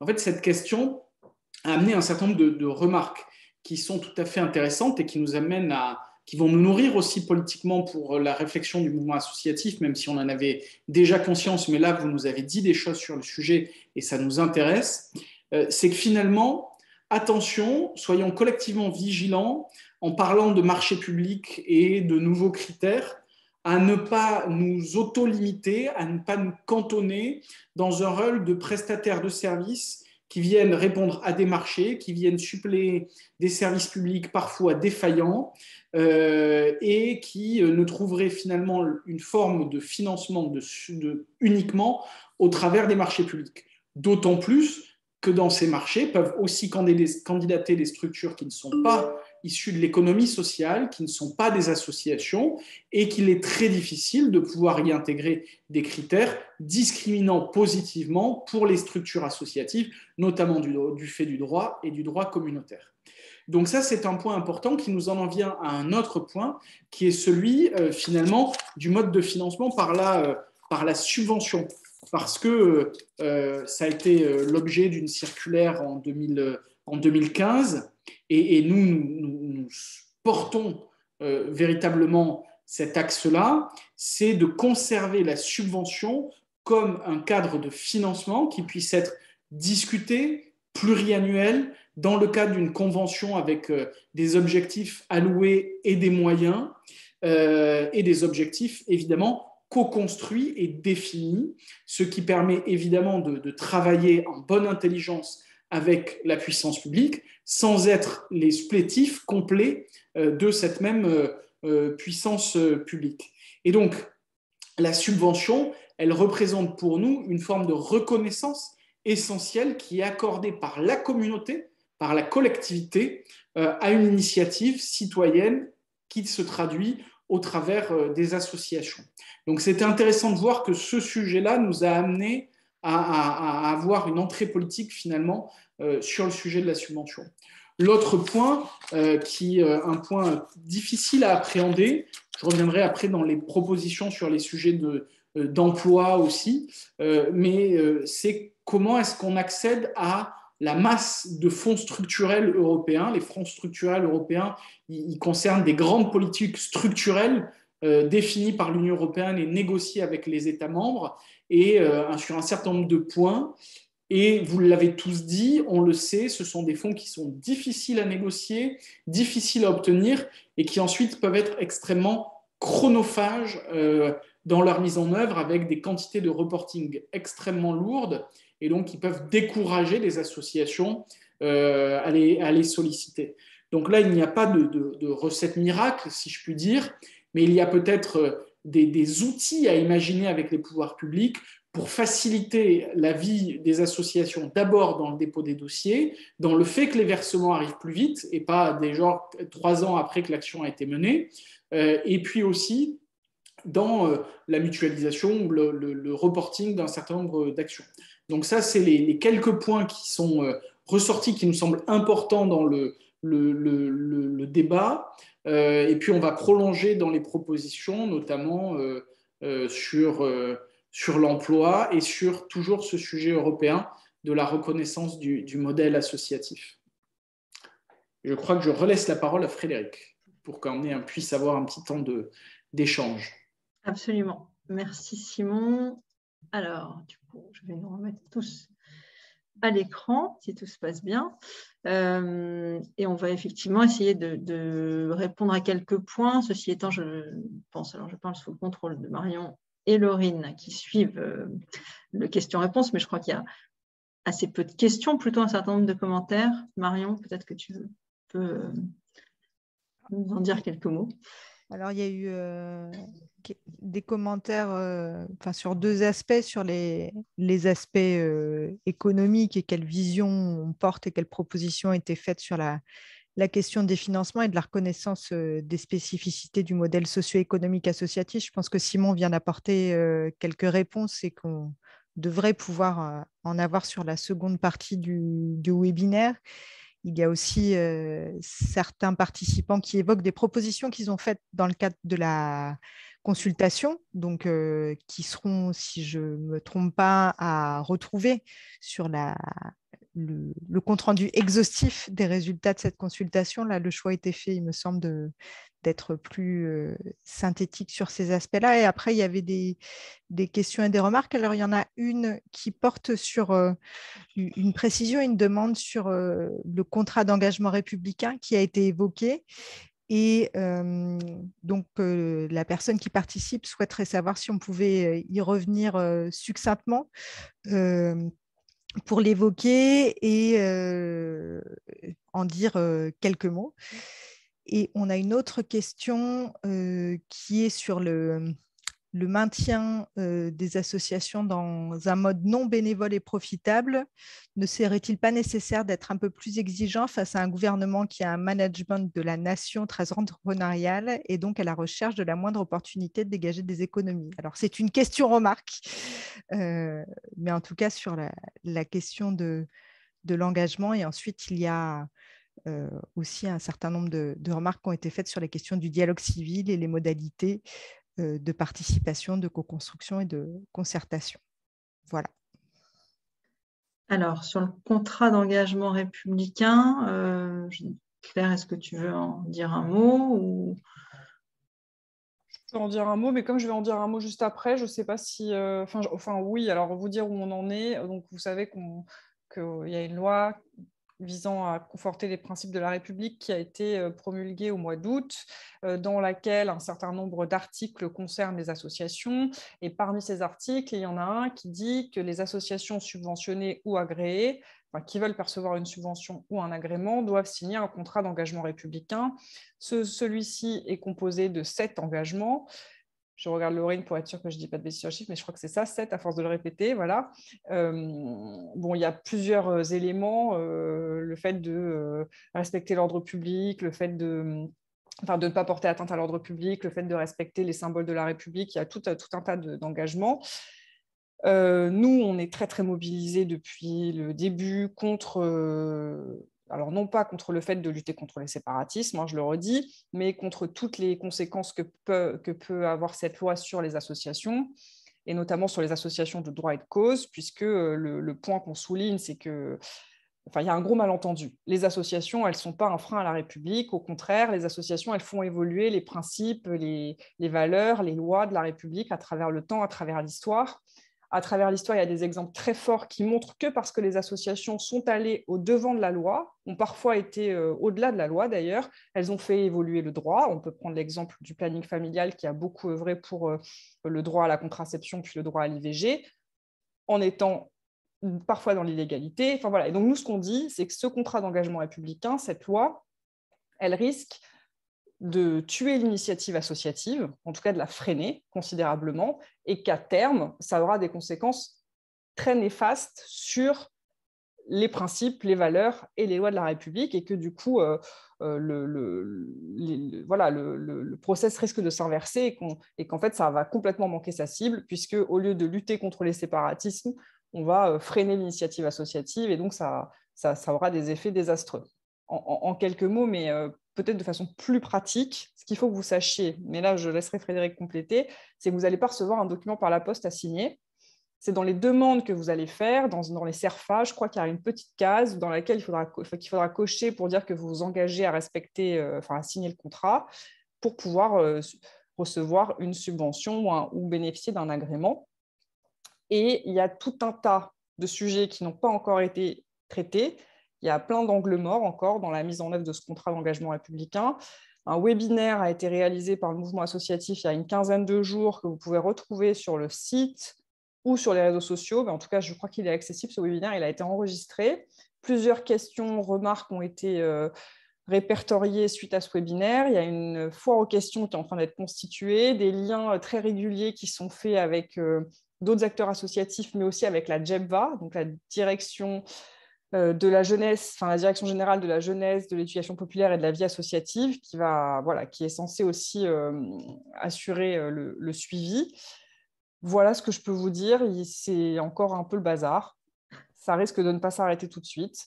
Mais quand vous verrez notre proposition, peut-être que si, finalement. On verra. Ça dépend si on nous écoute. Merci Claire. Effectivement, oui, je confirme, le webinaire et, le, PowerPoint qui a été présenté sont disponibles sur notre euh, site et vous y trouverez quelques, les réponses qu'on a à ce stade, euh, mais effectivement, il y a un certain nombre de questions qui restent. Alors, peut-être sur ce que Marion évoquait, on avait une question à la fois sur comment maintenir un monde associatif bénévole et non, non profitable, entre guillemets, et puis euh, des questions peut-être un peu du même ordre qu'on peut rapprocher de ça, qui disent comment échapper à l'instrumentalisation de la vie associative pour suppléer à moindre coût des plans de services publics que l'État abandonne. Je ne pense pas qu'on ait la réponse miracle les uns et les autres, à vrai dire. Hein. Donc peut-être que, euh, certains des, intervenants euh, voudront apporter leur, éclairage, leur façon de voir. Euh, tout l'ensemble de nos propositions vise dans, une, dans une construction d'ensemble, vise à, permettre l'épanouissement d'une vie associative qui soit avant tout, qui soit l'émanation des citoyens, d'une participation active des citoyens, d'un engagement libre et volontaire et qui ne soit pas instrumentalisé. Maintenant, je pense qu'effectivement, il peut toujours y avoir des tentatives d'instrumentalisation ou si ce n'est pas instrumentalisation, et je pense que Simon Thiraud l'a abordé, hein, la question de, la commande publique, euh, de l'importance de la commande publique qui a pris plus de place dans les financements euh, associatifs, euh, peut être un sujet d'instrumentalisation, on va dire en tout cas de, limitation de l'initiative associative. Donc évidemment, on plaide effectivement pour un, renforcement de, la reconnaissance de la subvention, mais qui n'est pas non plus la seule voie. Et beaucoup d'associations vivent sans subvention du tout parce qu'elles souhaitent le faire autrement et, vivent avec les adhésions les cotisations de leurs adhérents ou des recettes d'activité. Donc les modèles euh, associatifs sont, sont variés. Je pense que c'est important de réaffirmer quand même, de redire à quel point euh, euh, la, vitalité associative est grande dans notre pays, avec un, des créations d'associations permanentes et des millions de citoyens qui s'engagent et qui ne sont pas dans cette... qui, je pense, n'ont pas le sentiment d'être instrumentalisés. Donc, il faut sans doute aussi équilibrer cette, euh, ce regard. Bon, je ne sais pas si Hubert, Claire, Simon, vous voulez peut-être réagir à ça. Juste un, point, parce que je vois que Simon, je pense, que Simon voudra réagir aussi, mais juste un point par rapport à ce que disait Frédéric, je pense que ça, c'est vraiment très important de, rappeler, enfin, Simon l'a dit dans son propos, Frédéric l'a rappelé, mais 1,5 million d'associations, ça veut dire qu'il y a des réalités très, très différentes, en fait. Hein. Et euh, il me semble que nous, notre rôle, c'est de rappeler que le monde associatif, il couvre des champs différents qu'il y a des fonctionnements très différents, et surtout de, lutter contre cette idée euh, reçue qu'on entend un peu trop souvent que les associations soient, sont soit là pour combler des, carences du service public. Alors, c'est parfois le cas, enfin, c'est vrai, mais c'est vraiment très loin d'être la majorité des situations, soit sont là pour faire de la solidarité en, en palliant, enfin voilà, en aidant les plus démunis. C'est aussi vrai, mais y a, le monde associatif, c'est vraiment beaucoup de choses, et, pour, pour, enfin, à, mes yeux, selon moi, et c'est quelque chose qui est assez partagé par le mouvement associatif, l'enjeu, c'est de rappeler que les associations, elles portent un projet politique. C'est pas un gros mot, un projet politique, ça veut dire que c'est un projet aussi de transformation sociale avec euh, une vision euh, euh, pour la démocratie. Voilà, c'est rappeler ça, c'est rappeler que les associations, c'est des espaces de démocratie du quotidien, d'exercice qui, qui innovent, qui proposent des projets, des réponses ça peut prendre des formes très différentes selon le territoire, selon les individus qui se rassemblent, selon les besoins identifiés, selon les moments aussi euh, euh, auxquels on, les, moments desquels on parle. C'est euh, une force de frappe incroyable, le monde associatif. C'est un maillage territorial qui est mais absolument inégalé. Dans tous les villages de France, il y a une association, rappelons ça. Et donc voilà, je pense que l'enjeu, c'est de rappeler la dimension politique d'un projet associatif, le fait que se rassembler en association, c'est pas anodin. Choisir une crèche associative plutôt qu'une crèche euh, municipale ou une crèche privée lucrative pour son enfant, c'est pas anodin. Choisir un club sportif associatif plutôt qu'un club sportif privé lucratif, c'est pas anodin. Et voilà, c'est rappeler ça et rappeler euh, en quoi c'est pas anodin justement et tout ce que ça peut produire pour les individus qui s'engagent, mais aussi pour la société. Et je pense que si on arrive à mettre ça en avant avant le reste, on arrivera à euh, éviter enfin éviter, limiter les risques d'instrumentalisation en reprenant le dessus et voilà, en rappelant la dimension très politique de l'action associative au sens euh, noble du terme. Hubert, Simon, vous voulez ajouter quelque chose à ça ou... Peut-être un, mot sur le fait de dire que les associations ne sont pas un bloc monolithique et qu'il n'y a pas euh, soit euh, une association travaille euh, avec les pouvoirs publics dans le cadre d'un conventionnement pluriannuel et dans ce cas-là n'est plus indépendante, soit elle ne travaille pas avec les pouvoirs publics et dans ce cas-là elle est totalement indépendante. Euh, elle peut être totalement dépendante à d'autres éléments. et donc nous revendiquons le fait qu'une association puisse à la fois défendre dans le cadre de son projet politique euh, des, causes, euh, mais aussi travailler avec les pouvoirs publics euh, sur la mise en œuvre d'un certain nombre d'actions. Et qu'il arrive que parfois il y ait des tensions entre ces deux parties de l'action. C'est particulièrement vrai pour les associations qui sont dans le champ environnemental, par exemple, qui peuvent porter un certain nombre de revendications politiques tout en participant à des actions d'éducation à l'environnement avec le ministère de l'Éducation nationale. Euh, c'est le cas aussi des associations euh, qui luttent pour le droit des femmes. Euh, Claire a pris les exemples dans l'histoire avec des, associations qui ont à la fois d'abord porté des sujets durs et lourds face au pouvoir public, puis ensuite qui ont accompagné le déploiement de politiques publiques avant peut-être aussi que les relations puissent se redurcir avec les pouvoirs publics. Et donc on n'est à la fois pas monolithique à l'instant T, mais également dans l'histoire des associations euh, et de nos projets. Et c'est d'ailleurs pour ça qu'on s'oppose au contrat d'engagement républicain et qu'on s'y a opposé avant et qu'on continuera, même si on veut donner les clés aux associations pour euh, arriver à, le dépasser quoi, et, à ne pas en être victime, parce qu'on revendique euh, justement cela. Euh, et, que c'est pas parce qu'à un moment donné on dit quelque chose et que c'est en contradiction avec les pouvoirs publics qu'on doit subir les conséquences sur euh, la question du, financement euh, et de la survie des actions qui ont été, qui ont été déployées et qui sont déployées. Merci Simon.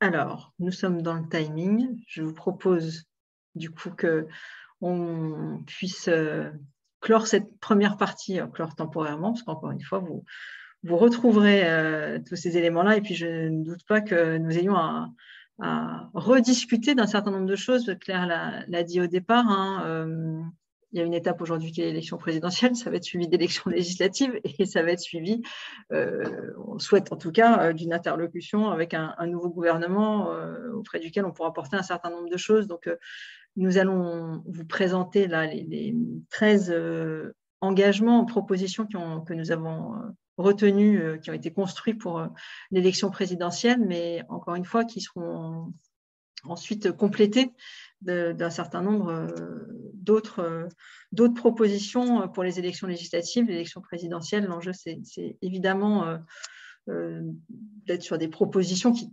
correspondent au niveau d'engagement euh, d'un président de la République ou d'une présidente de la République, euh, avec des choses qui ensuite doivent être déclinées législativement ou dans une interlocution gouvernementale. Donc, ça n'est qu'une première étape, je pense, que nous avons là, avant, une longue série, d'autres, et, la consultation va nous nourrir tout au long de ce, de ce travail.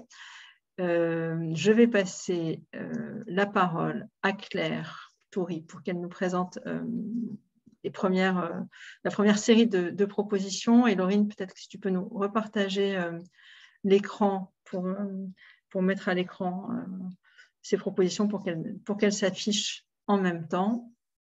Ce sera parfait.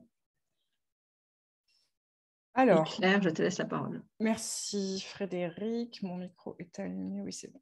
Euh, alors, euh, donc, quatre propositions dans un premier axe qu'on a intitulé Construire le cadre d'une relation de confiance.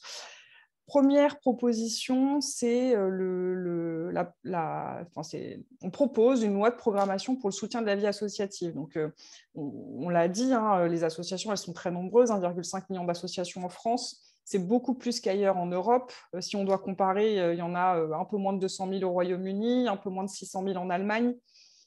Ce que disait Frédéric aussi tout à l'heure, c'est très important, c'est un, monde très dynamique puisqu'on on a environ 70 000 associations qui se créent chaque année, 3,3% du PIB, 20 millions de personnes, de bénévoles qui s'engagent dans des associations voilà, c'est vraiment euh, considérable. Euh, donc euh, voilà, on, a un monde très riche, très dynamique, et en même temps, on a une politique d'accompagnement du secteur associatif qui est, comment dire ça de façon, enfin de façon, enfin correctement, qui est quand même très très, qui n'est pas du tout à la hauteur du, du, monde associatif et qui est qui manque de, stratégie à long terme et qui manque très clairement de coordination. Et, voilà, et ça, c'est un vrai sujet. Et d'ailleurs, ce n'est pas nous qui le disons, je vous cite la Cour des comptes, ce sera comme ça, ce sera encore mieux. La Cour des comptes, en mai 2021, écrit La politique d'accompagnement du secteur associatif souffre d'une absence de stratégie de long terme et d'une coordination fragile qui nuisent à son efficacité. La vie associative pourrait être revivifiée par un soutien modernisé. Alors, qu'il n'y ait juste pas de malentendu, enfin, qu'il n'y ait pas de malentendu, les associations, elles existent, de toute façon. Enfin, elles s'organisent, elles font plein de choses. En revanche, avec une, loi euh, comme on la demande, on pourrait permettre à la vie associative euh, d'être mieux structurée et puis d'avoir une, efficacité bien plus grande et bien plus importante. Et c'est ça l'enjeu.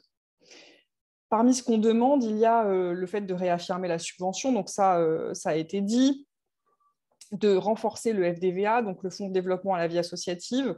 Euh, vous savez, c'est un fonds qui, euh, est doté de 8 millions d'euros, euh, essentiellement pour la formation des responsables bénévoles. C'est 5 millions de personnes aujourd'hui qui bénéficient de ça. Ces, crédits n'ont pas augmenté du tout ces dix dernières années. Et, quand on regarde la façon dont est dotée la formation professionnelle, 32 milliards d'euros, il y, a une marge de progression quand même assez significative. Par ailleurs, le FDVA, il est là pour euh, former les responsables associatifs, enfin, les, les responsables, former les associatifs, les bénévoles associatifs, mais il est censé pouvoir faire d'autres choses. Par exemple, le FDVA, euh, qu'on appelle FDVA 3, euh, permet normalement l'expérimentation, mais sauf que faute de moyens, bah, ce FDVA 3, il, rien ne se passe depuis maintenant un certain nombre d'années. Donc on demande vraiment que ce FDVA soit renforcé. On demande euh, le soutien au développement de l'innovation sociale et sociétale par le renforcement des liens entre la recherche et les associations. Voilà, ça c'est aussi euh, des points qui, nous semblent essentiels à réaffirmer.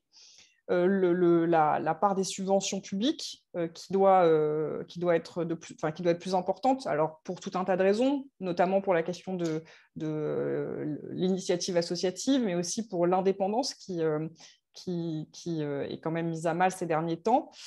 Euh, cette part des subventions, elle a diminué 34% des ressources en 2005, 20% en 2017. Donc, on, a ce, point d'interpellation euh, dans, le cadre de cette loi.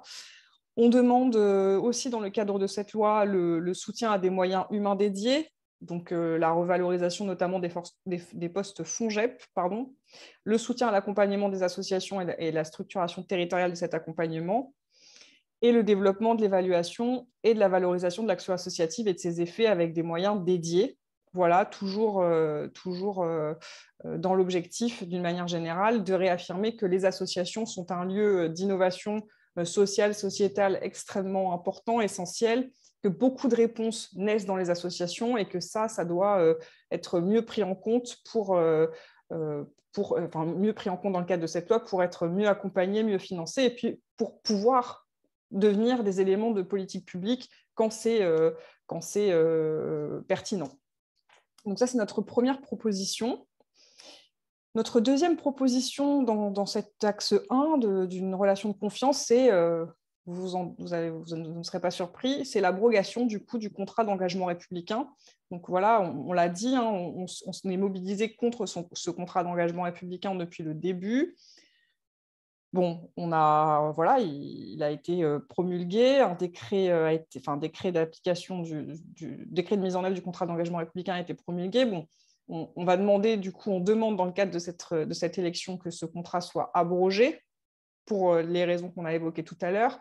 Mais voilà, parce qu'elles sont essentielles à la démocratie et que ce contrat d'engagement républicain, il est dénoncé, mais unanimement par les acteurs associatifs, ce qui est quand même un sujet il est perçu par les acteurs associatifs comme une forme de défiance. Et dans un contexte encore plus, euh, encore plus incompréhensible, puisque par ailleurs, euh, on nous impose un contrat d'engagement républicain alors que les pouvoirs publics n'ont cessé de saluer l'action associative ces derniers mois, tout au long de la crise sanitaire, et de répéter que sans les associations, euh, voilà, la situation a été encore bien plus terrible. Ça, suscite beaucoup d'incompréhension, beaucoup de frustration, voire de colère de la part des acteurs associatifs. Et donc, euh, on demande euh, son abrogation. Mais on demande dans le même temps une déclinaison systématique de la charte des engagements réciproques. Alors ça, c'est une charte qui, euh, contrairement au contrat d'engagement républicain, a été co-construite avec les acteurs associatifs. La première a été signée en 2001, puis elle a été euh, mise à jour, puis signée de nouveau en 2014. Il y a du travail à faire pour la décliner encore plus largement, sectoriellement, mais aussi territorialement. Donc voilà, on demande que le contrat soit abrogé, que, les acteurs associatifs et les pouvoirs publics se ressaisissent de la charte des engagements réciproques pour la décliner et pour euh, en, faire un vrai outil euh, de, la relation partenariale. Troisième proposition, on demande le développement d'une politique volontariste de formation de l'administration au monde associatif. Alors voilà, le monde associatif, c'est 10% de l'emploi privé. C'est énorme. Et on se rend compte, vous le savez sans doute, mais nous, on s'en rend compte quotidiennement dans nos interlocutions avec l'administration, que euh, nos interlocuteurs ne connaissent pas ce que l'on est, ne connaissent pas ce que l'on représente. Je pourrais vous donner des exemples, Simon le fera s'il le souhaite, mais euh, encore récemment, euh, on a été confronté à euh, un oubli. Voilà, l'administration euh, a oublié les associations d'un dispositif de soutien et donc il a fallu qu'on se mobilise pour leur rappeler qu'on était des acteurs économiques aussi et qu'on avait euh, besoin de, des mêmes aides que les autres parce qu'on avait des, salariés, parce qu'on avait des coûts fixes, etc. Donc voilà, donc on demande vraiment une formation beaucoup plus importante que ce qu'elle est aujourd'hui de, l'administration, une formation initiale, dans la formation initiale des fonctionnaires, mais aussi dans une formation continue, voilà, sur le, sur le long cours, donc euh, une formation au modèle économique non lucratif, à ses spécificités comptables notamment. On demande euh, une, euh, voilà, des formations, je l'ai dit, formation initiale, formation continue. Quatrième proposition, la présence forte de la vie associative dans l'architecture, dans la future architecture gouvernementale. Alors euh, voilà, la vie associative, elle touche une diversité d'enjeux, l'engagement, la, politique de soutien à l'engagement, la reconnaissance, le soutien du modèle économique non lucratif, la place dans les politiques d'emploi, la cohésion sociale et territoriale, les politiques fiscales liées à la générosité. Il y a beaucoup de choses, il y a beaucoup d'administrations qui sont euh, en charge de ces sujets. Mais malgré tout, on se rend compte qu'une approche politique d'ensemble est nécessaire pour euh, gagner en lisibilité, puisqu'on l'a vu, un des vrais enjeux, c'est la lisibilité du monde associatif et de, ce qu'on représente, et donc de gagner en force de frappe.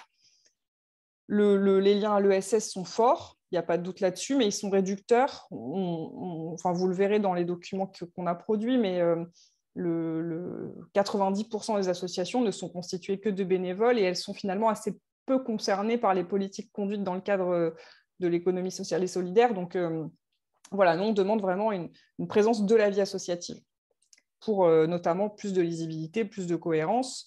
Et puis, euh, autre élément important, en, enfin, le manque de continuité, disons, de l'action de l'État fait que de, nombreux, enfin, de nombreux dispositifs pour les associations tardent à être mis en œuvre. Par exemple, on, a, beaucoup porté, enfin, on a même porté complètement un, plan pour les associations en 2018. Donc, on a apporté une politique ambitieuse de vie associative, un chantier, 59 propositions qu'on a remis au Premier ministre. Suite à ça, euh, le secrétaire d'État de l'époque en charge de l'engagement, enfin de la vie associative, Gabriel Attal, a, proposé une feuille de route avec 15 mesures. Et trois ans plus tard, il y a eu certes la crise sanitaire, mais quand même, trois ans plus tard, seulement 7 des 15 mesures ont été euh, mises en œuvre ou sont en, cours de lettres. Donc voilà, donc il y a un vrai enjeu euh, pour nous euh, d'avoir une existence forte et surtout d'avoir un interlocuteur fort dans le, dans le prochain gouvernement pour, pour gagner en visibilité, mais pour gagner aussi en, efficacité et puis avoir une, une, politique de vie associative vraiment ambitieuse.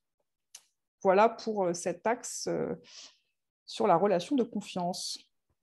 Merci beaucoup Claire. Hubert, je te repasse la parole pour les propositions euh, liées à, l'engagement, à la société de l'engagement. On va retrouver un certain nombre de, choses que tu as pu évoquer euh, précédemment. Voilà, merci euh, Frédéric. Alors voilà, donc sur les questions d'engagement, plusieurs chiffres ont été cités là depuis le début du webinaire sur la place de l'engagement et la participation sur ces dynamiques d'engagement, hein, et notamment le fait, c'est le chiffre de 4,5% de participation bénévole par an en plus euh, qui montrent qu'effectivement, ces questions-là sont euh, euh, plutôt dans des, dans des dynamiques positives, hein, et en particulier sous l'impulsion des acteurs associatifs.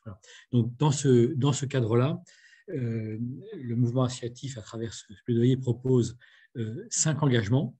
le premier qu'on va découvrir, premier engagement qui est proposé est un engagement euh, très, euh, très structurant hein, qui euh, veut nous faire rentrer sur, sur le sujet, avec cette idée de construire avec les acteurs associatifs et dans une logique interministérielle une stratégie nationale de l'engagement.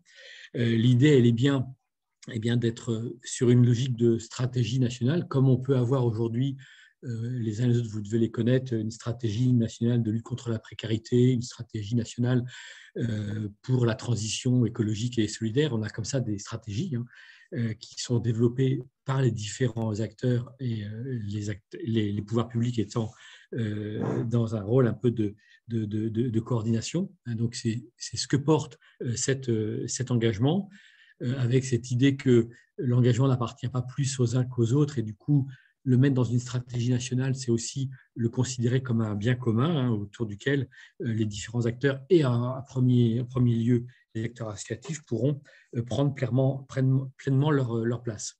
Donc, dans, ce sens-là, il y a plusieurs pistes qu'on peut imaginer pour construire cette euh, stratégie. Hein.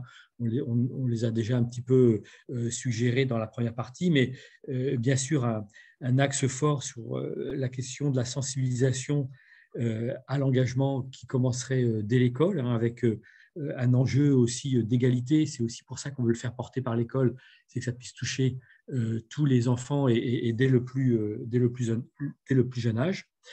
Dans cette stratégie, elle axe fort sur la question des parcours d'engagement tout, tout, au long de la vie. Hein, donc on voit bien qu'il y a nécessité, on l'a illustré tout à l'heure, euh, de renforcer certains dispositifs, peut-être d'en créer, euh, d'autres, hein, et euh, de faire en sorte que à la fois les acteurs associatifs puissent être dans l'impulsion, hein, comme on a pu, dans le monde associatif ces derniers temps, créer, si je puis dire, les questions de bénévolat de compétences.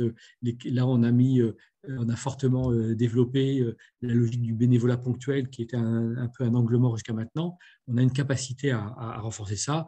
Le monde associatif a fait émerger le, service civique de, la sorte. Il y a beaucoup de logiques d'engagement qui permettent de rejoindre tout le monde tout au long de, tout au long de la vie.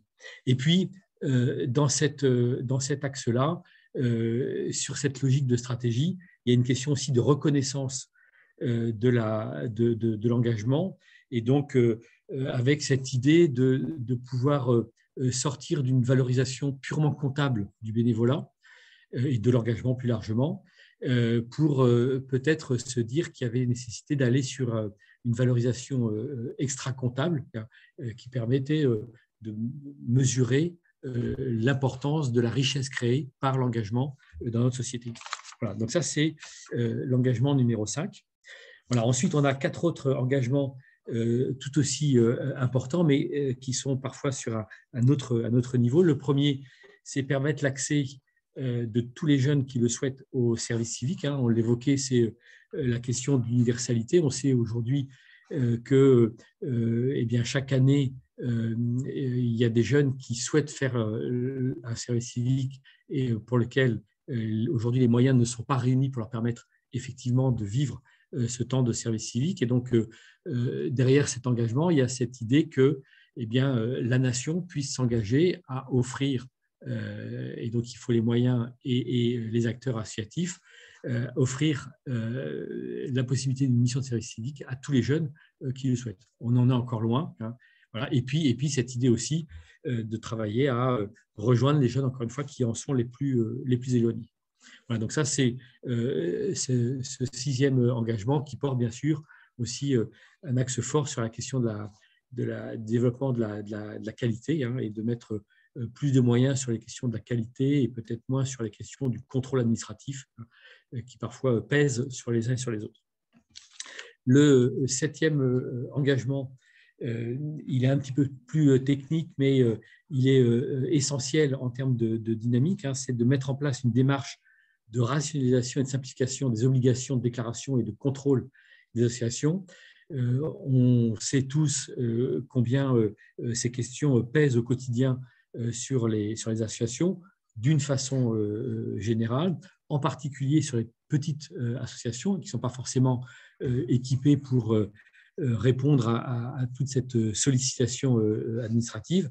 Et on sait combien, en tout cas, euh, cette problématique des obligations et de la lourdeur de ces obligations pèse sur l'attractivité des fonctions de, dirigeants. Donc, c'est derrière cet engagement qui paraît un peu technique, c'est aussi ce sujet-là qui est, en jeu. Hein. c'est notre capacité à faire en sorte que la fonction de dirigeant associatif, qui mobilise des centaines de, milliers de personnes dans notre pays euh, reste attractive et puis qu'on ne se retrouve pas dans une pénurie effectivement de, dirigeants qui seraient euh, liés pour une grande partie à cette lourdeur euh, qui est imposée aux, associations. Le huitième engagement paraît aussi un petit peu technique, hein, puisqu'il vise à, créer un crédit d'impôt pour favoriser et reconnaître l'engagement. Alors en fait, c'est l'idée de transformer l'exonération d'impôt qui existe aujourd'hui, de la transformer en un crédit d'impôt, puisque l'exonération d'impôt, elle ne porte que ceux qui sont assujettis euh, à l'impôt sur le revenu, alors que le crédit d'impôt euh, s'intéresse à tous. Et euh, en faisant ça, hein, en allant sur cet engagement-là, eh bien, on veut faire en sorte de mettre tout le monde sur un pied d'égalité et favoriser les questions d'engagement, encore une fois, notamment en direction de ceux qui en sont le, le, plus éloigné. Voilà, donc ça, c'est un peu le, le, sens de cette mesure qui, semble, qui peut paraître comme ça a priori un peu technique, mais euh, derrière qui euh, participe hein, du, projet politique que l'on a, qui est que l'engagement s'adresse effectivement à tous et, à chacun. Et puis enfin, le dernier engagement, il a été évoqué par plusieurs des, intervenants parce qu'effectivement, il est assez transversal, il arrive sur les questions d'engagement, mais c'est plutôt bien c'est l'idée de créer un fonds de soutien des initiatives euh, citoyennes. Hein. C'est donc euh, euh, l'idée que dans une logique d'engagement non formel, donc non déclaré en statut associatif, des citoyens puissent prendre des initiatives et que ces initiatives soient, soient soutenues. Et donc, notre proposition, c'est d'aller jusqu'à dire, eh bien, imaginons que ce fonds réunisse 5% du montant des crédits qui sont affectés à la démocratie représentative actuellement en France. Hein. Et donc, ça serait un signe fort hein, pour contribuer aussi à la vitalité citoyenne à travers cette capacité que on offrirait et, l'accompagnement qui serait offert aux citoyens qui souhaitent s'impliquer là où ils agissent, considérant que beaucoup d'associations sont créées à l'issue d'une initiative citoyenne. Donc il y a aussi un effet très vertueux sur la dynamique associative. Voilà, ces cinq engagements qui sont proposés euh, sur l'axe donner toute sa place à la société de l'engagement. Merci beaucoup Hubert. Et Simon, je te passe la parole. Donc Simon Thiraud pour les quatre dernières euh, propositions. Quatre propositions euh, sur l'axe 3 qui est bâtir une économie plus juste et, plus, et plus durable. Alors quelques chiffres sont rappelés. Euh, les associations en France euh, représentent 1,8 million euh, de salariés. À titre de comparaison, le secteur du bâtiment et de la construction, c'est 1,4 million de salariés. C'est juste pour vous donner une idée du, du, volume. Et dans tous les secteurs d'activité, avec parfois une présence beaucoup plus forte des associations dans certains territoires euh, notamment euh, en, ruralité, où ils vont représenter un poids beaucoup plus important au sein euh, de l'emploi privé. et puis les associations au sein même de l'économie sociale et solidaire bien, sont plus que majoritaires, elles sont largement majoritaires avec 80%, en représentant 80% des structures de, l'ESS. Plusieurs propositions sur le soutien à l'emploi. La première, euh, qui, euh, enfin, une proposition d'abord sur la création d'emplois associatifs.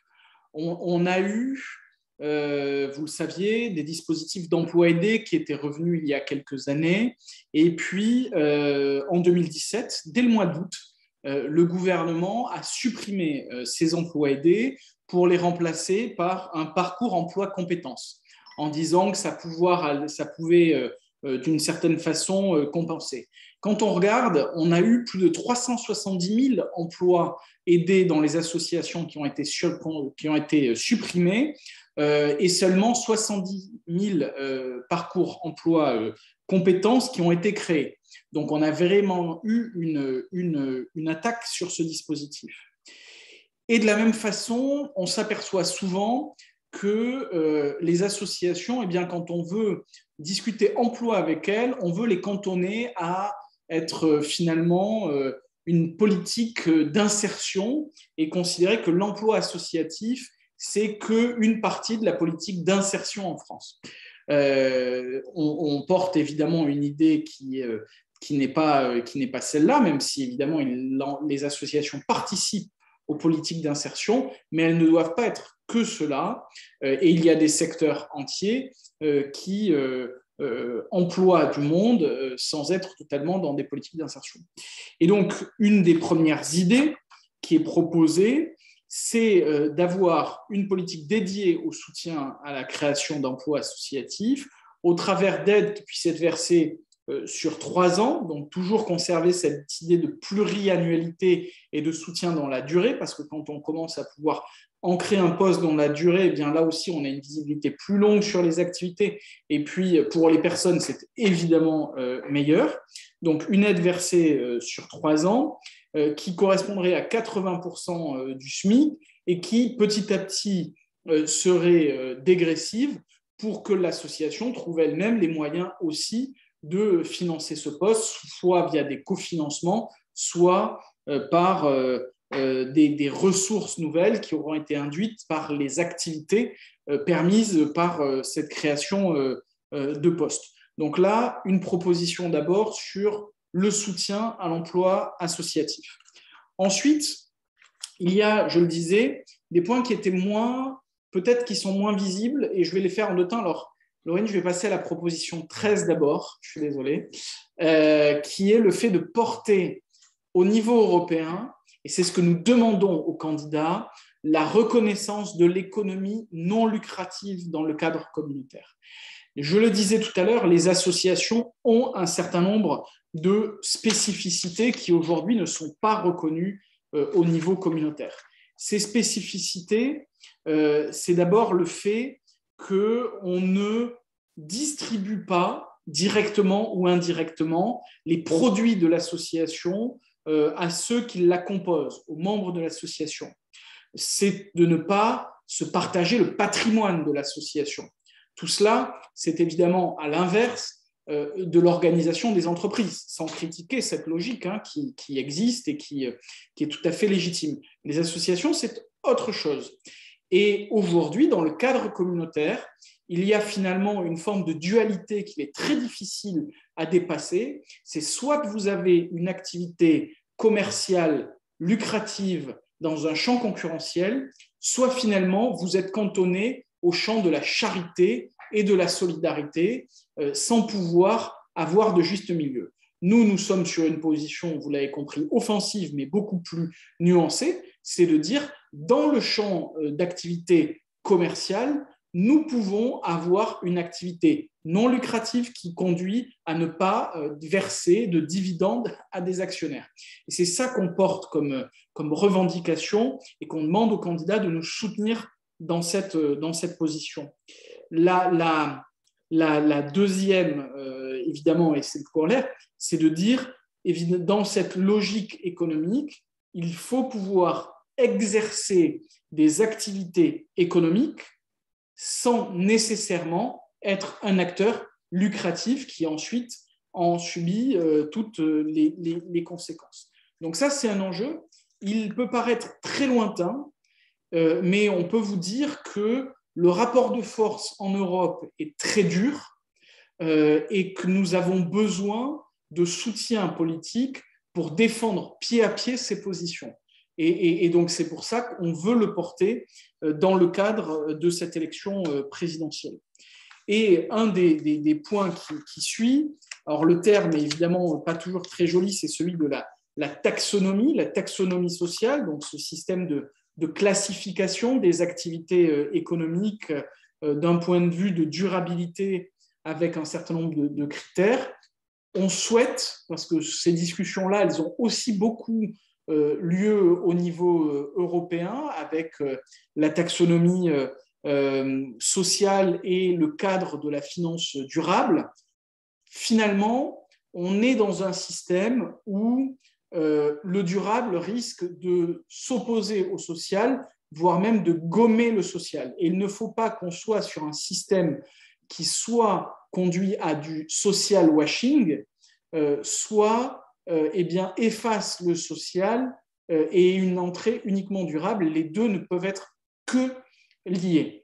Et donc, c'est cette proposition, finalement, de mettre au cœur des travaux sur la taxonomie sociale et la finance durable les spécificités des structures de l'ESS et des structures de l'économie non lucrative que je viens euh, d'évoquer euh, jusqu'à présent. Donc ça, c'est aussi un, combat où nous avons besoin d'alliés euh, politiques pour porter ces positions-là dans les instances au niveau européen.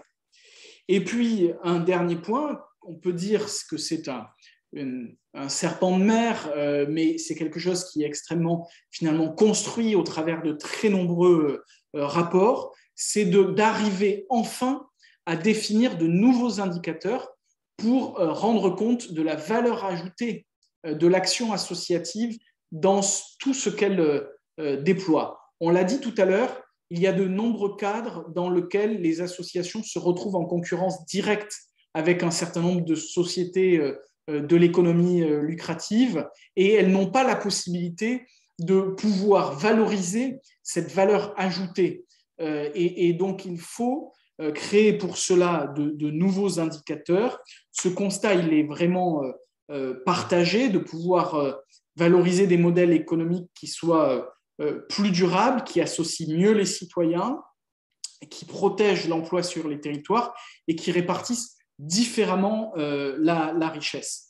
Et donc, il faut pouvoir créer ces cadres normatifs partagés permettant de mieux mesurer l'apport de l'économie euh, non lucrative et puis euh, définir de nouveaux indicateurs euh, de richesse, notamment pour construire les politiques publiques et pas uniquement au moment de leur évaluation, mais dès le moment où on les définit et où on les, on les construit. Voilà sur ces quatre derniers engagements en faveur d'une économie plus juste et plus durable.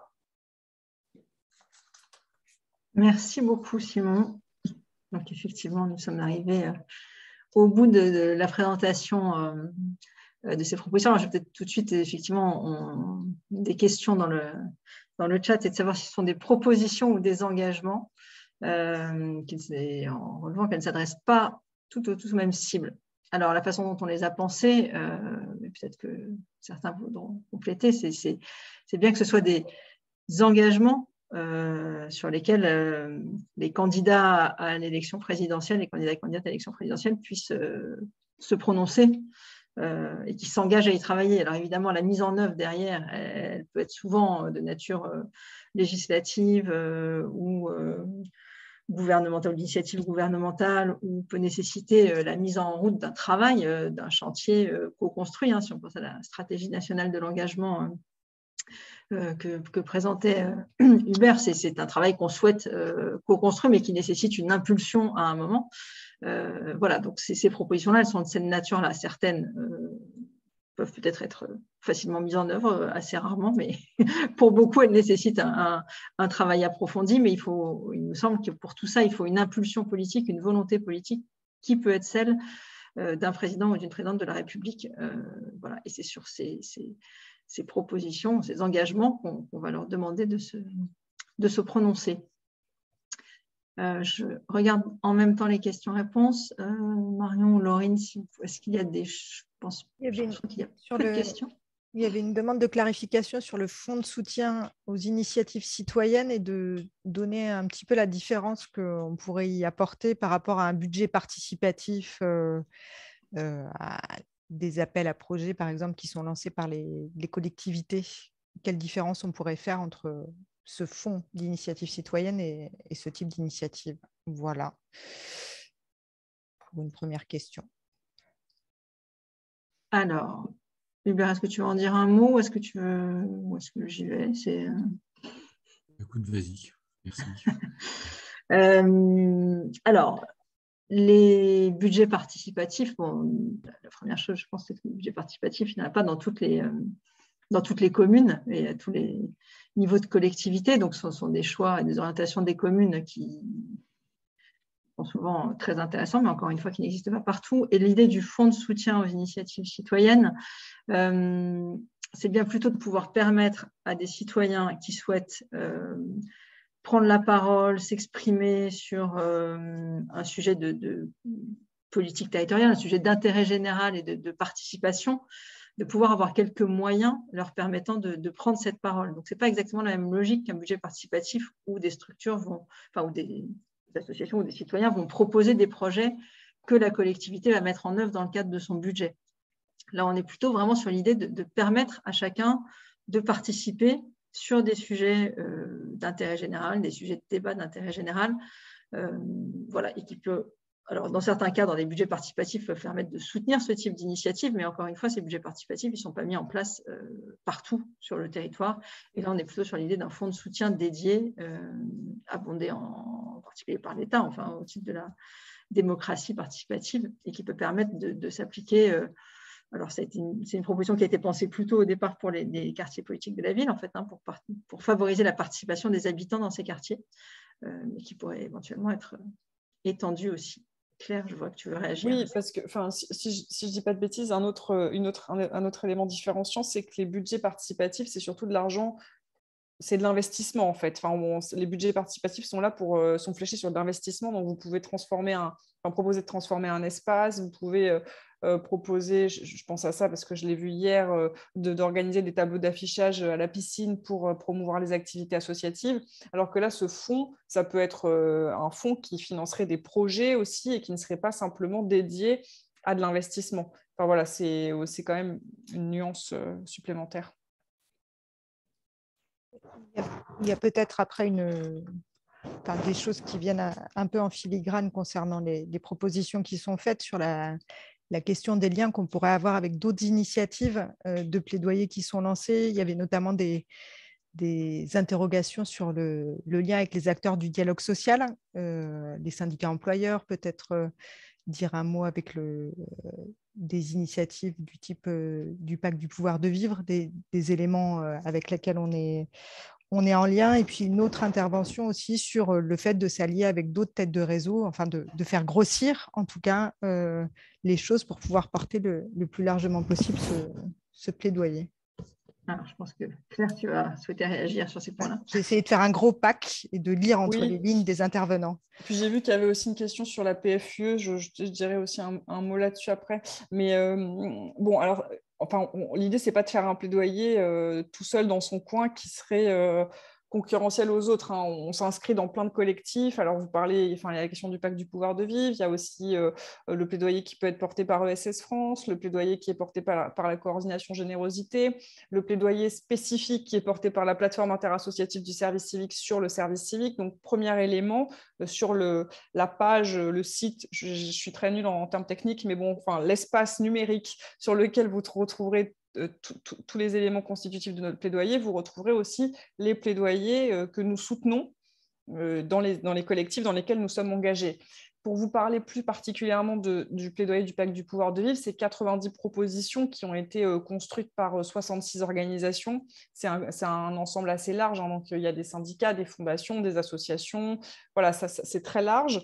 la force du mouvement associatif et des organisations associatives dans ce pacte, c'est euh, la question démocratique. Hein. Enfin, le pacte, c'est trois jambes. C'est un peu comme ça qu'on peut se définir. Il y a la question euh, sociale, la question écologique et la question démocratique. Et non pas que les associations n'ont rien à dire sur le social ou sur les questions écologiques. Il y a des associations là-dessus. Nous, mouvement associatif, on a surtout beaucoup de choses à dire et à partager et à apporter sur la question démocratique, puisque je l'ai dit, euh, les associations, c'est des espaces de démocratie du quotidien je ne pourrais pas faire un webinaire sans citer Roger Su, qui le dit très bien. Euh, il n'y a pas de démocratie sans association. Et donc, euh, ce n'est pas l'inverse, en fait. Les, les, associations sont absolument indispensables à la démocratie.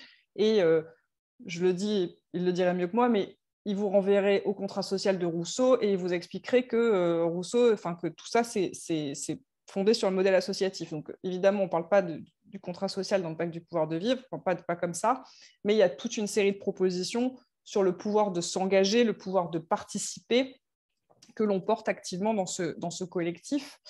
Et au-delà de ça, euh, les, échanges qu'on peut avoir au sein du pacte, qui sont euh, quand même des échanges plus transversaux que ceux qu'on peut avoir dans d'autres collectifs qui sont plus spécifiques, euh, la question qui revient beaucoup dans les interactions qu'on peut avoir entre nous, mais aussi avec les équipes de campagne qu'on rencontre, c'est, euh, et, j'avais un peu prévu de, conclure là-dessus, c'est euh, la question de l'exercice du pouvoir, en fait, parce que, voilà, on fait plein de propositions pour la vie associative, qui sont des propositions assez spécifiques hein, sur, notre, sur notre champ, enfin, même si c'est plus qu'un champ, la vie associative, mais sur notre modèle.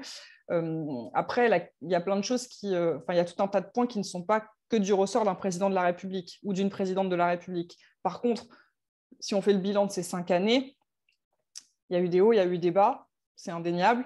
Il y a quand même des grands moments d'incompréhension mutuelle, je crois, et euh, surtout des moments de crispation forts. Et ce qui est, sûr, c'est ce que nous, on, a envie de challenger euh, tous ensemble dans le cadre de cette campagne. Et au-delà, c'est la question de l'exercice du pouvoir et quelle place de la société civile en général, mais du monde associatif en particulier, euh, dans euh, les relations partenariales. Et c'est un peu ça qu'on essaie de, présenter en filigrane de notre plaidoyer. Comment est-ce qu'on va travailler quotidiennement, enfin quotidiennement j'exagère, mais régulièrement en tout cas, avec... Euh, le prochain gouvernement, avec les prochains parlementaires Comment est-ce qu'on est dans une logique de co-construction, si jamais on a envie d'être dans de la co-construction, mais une co-construction possible et pas dans une logique de, consultation un peu superficielle euh, Comment est-ce que, euh, euh, en tant que, corps intermédiaire, et c'est pas un gros mot, enfin je sais que c'est pas très moderne, mais pour moi c'est pas, dit quand même long. Comment en tant que corps intermédiaire, en tant que société civile, en tant qu'émanation de citoyens,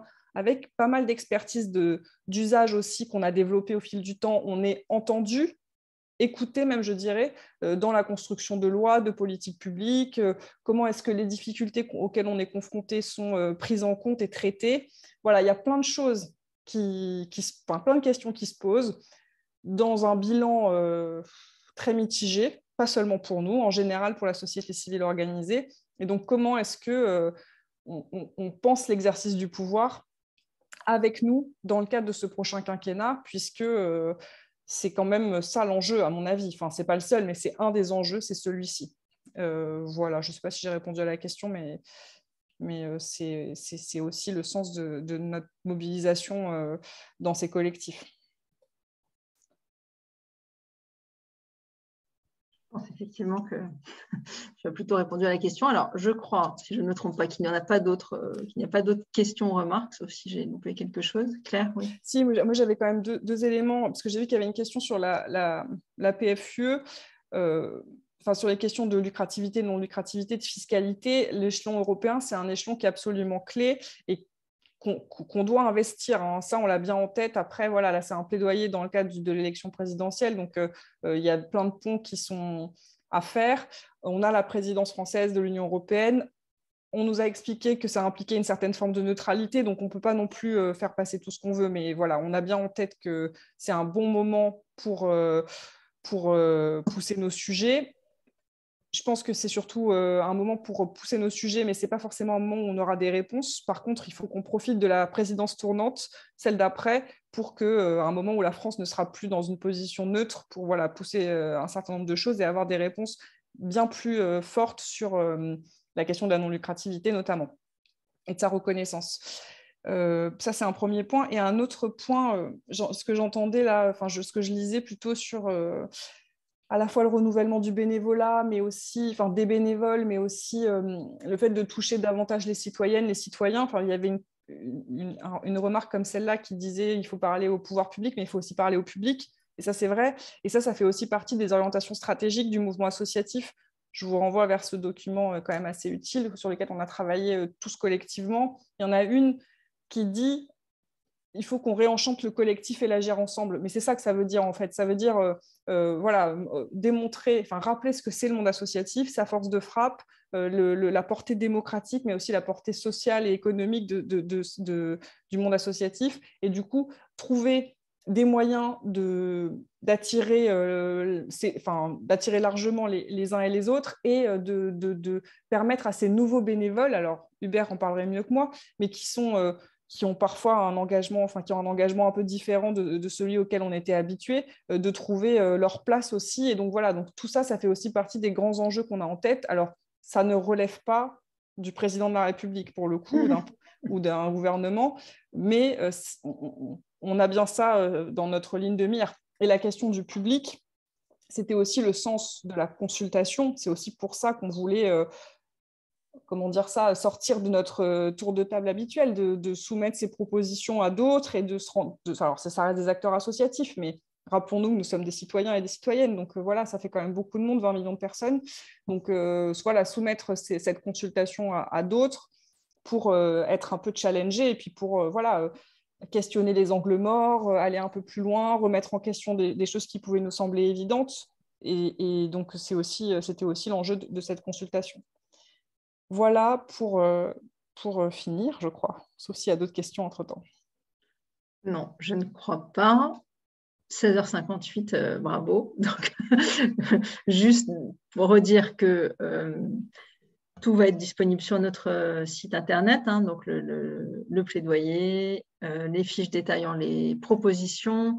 nous renverrons aussi vers les différents plaidoyers dans lesquels nous sommes partie prenante et vers ceux des membres du mouvement associatif, parce que bien sûr, les membres du mouvement associatif, pour un certain nombre d'entre eux, portent aussi euh, des propositions euh, liés souvent à leur secteur d'activité, on va dire, et qui donc seront aussi accessibles depuis notre site dès qu'ils les ont eux-mêmes publiés. Et surtout, c'est peut-être pour faire écho à une des remarques qu'il y avait dans le, dans le chat. Hein. Évidemment, l'idée, c'est si ces propositions vous parlent, que vous vous en saisissiez, et Claire l'a dit, hein, qu'on soit le plus nombreux possible pour les porter, puisque ce que le mouvement associatif organisation peut faire, mais évidemment, euh, ce qui est important, c'est que les associations elles-mêmes euh, y contribuent, euh, y croient aussi et, les portent pour qu'on soit plus fort ensemble. C'était bien sûr l'objet de la consultation et de la participation, mais aujourd'hui, cette présentation aussi, on espère que c'est ce qui peut vous permettre de vous en saisir et, de vous en faire le, le relais.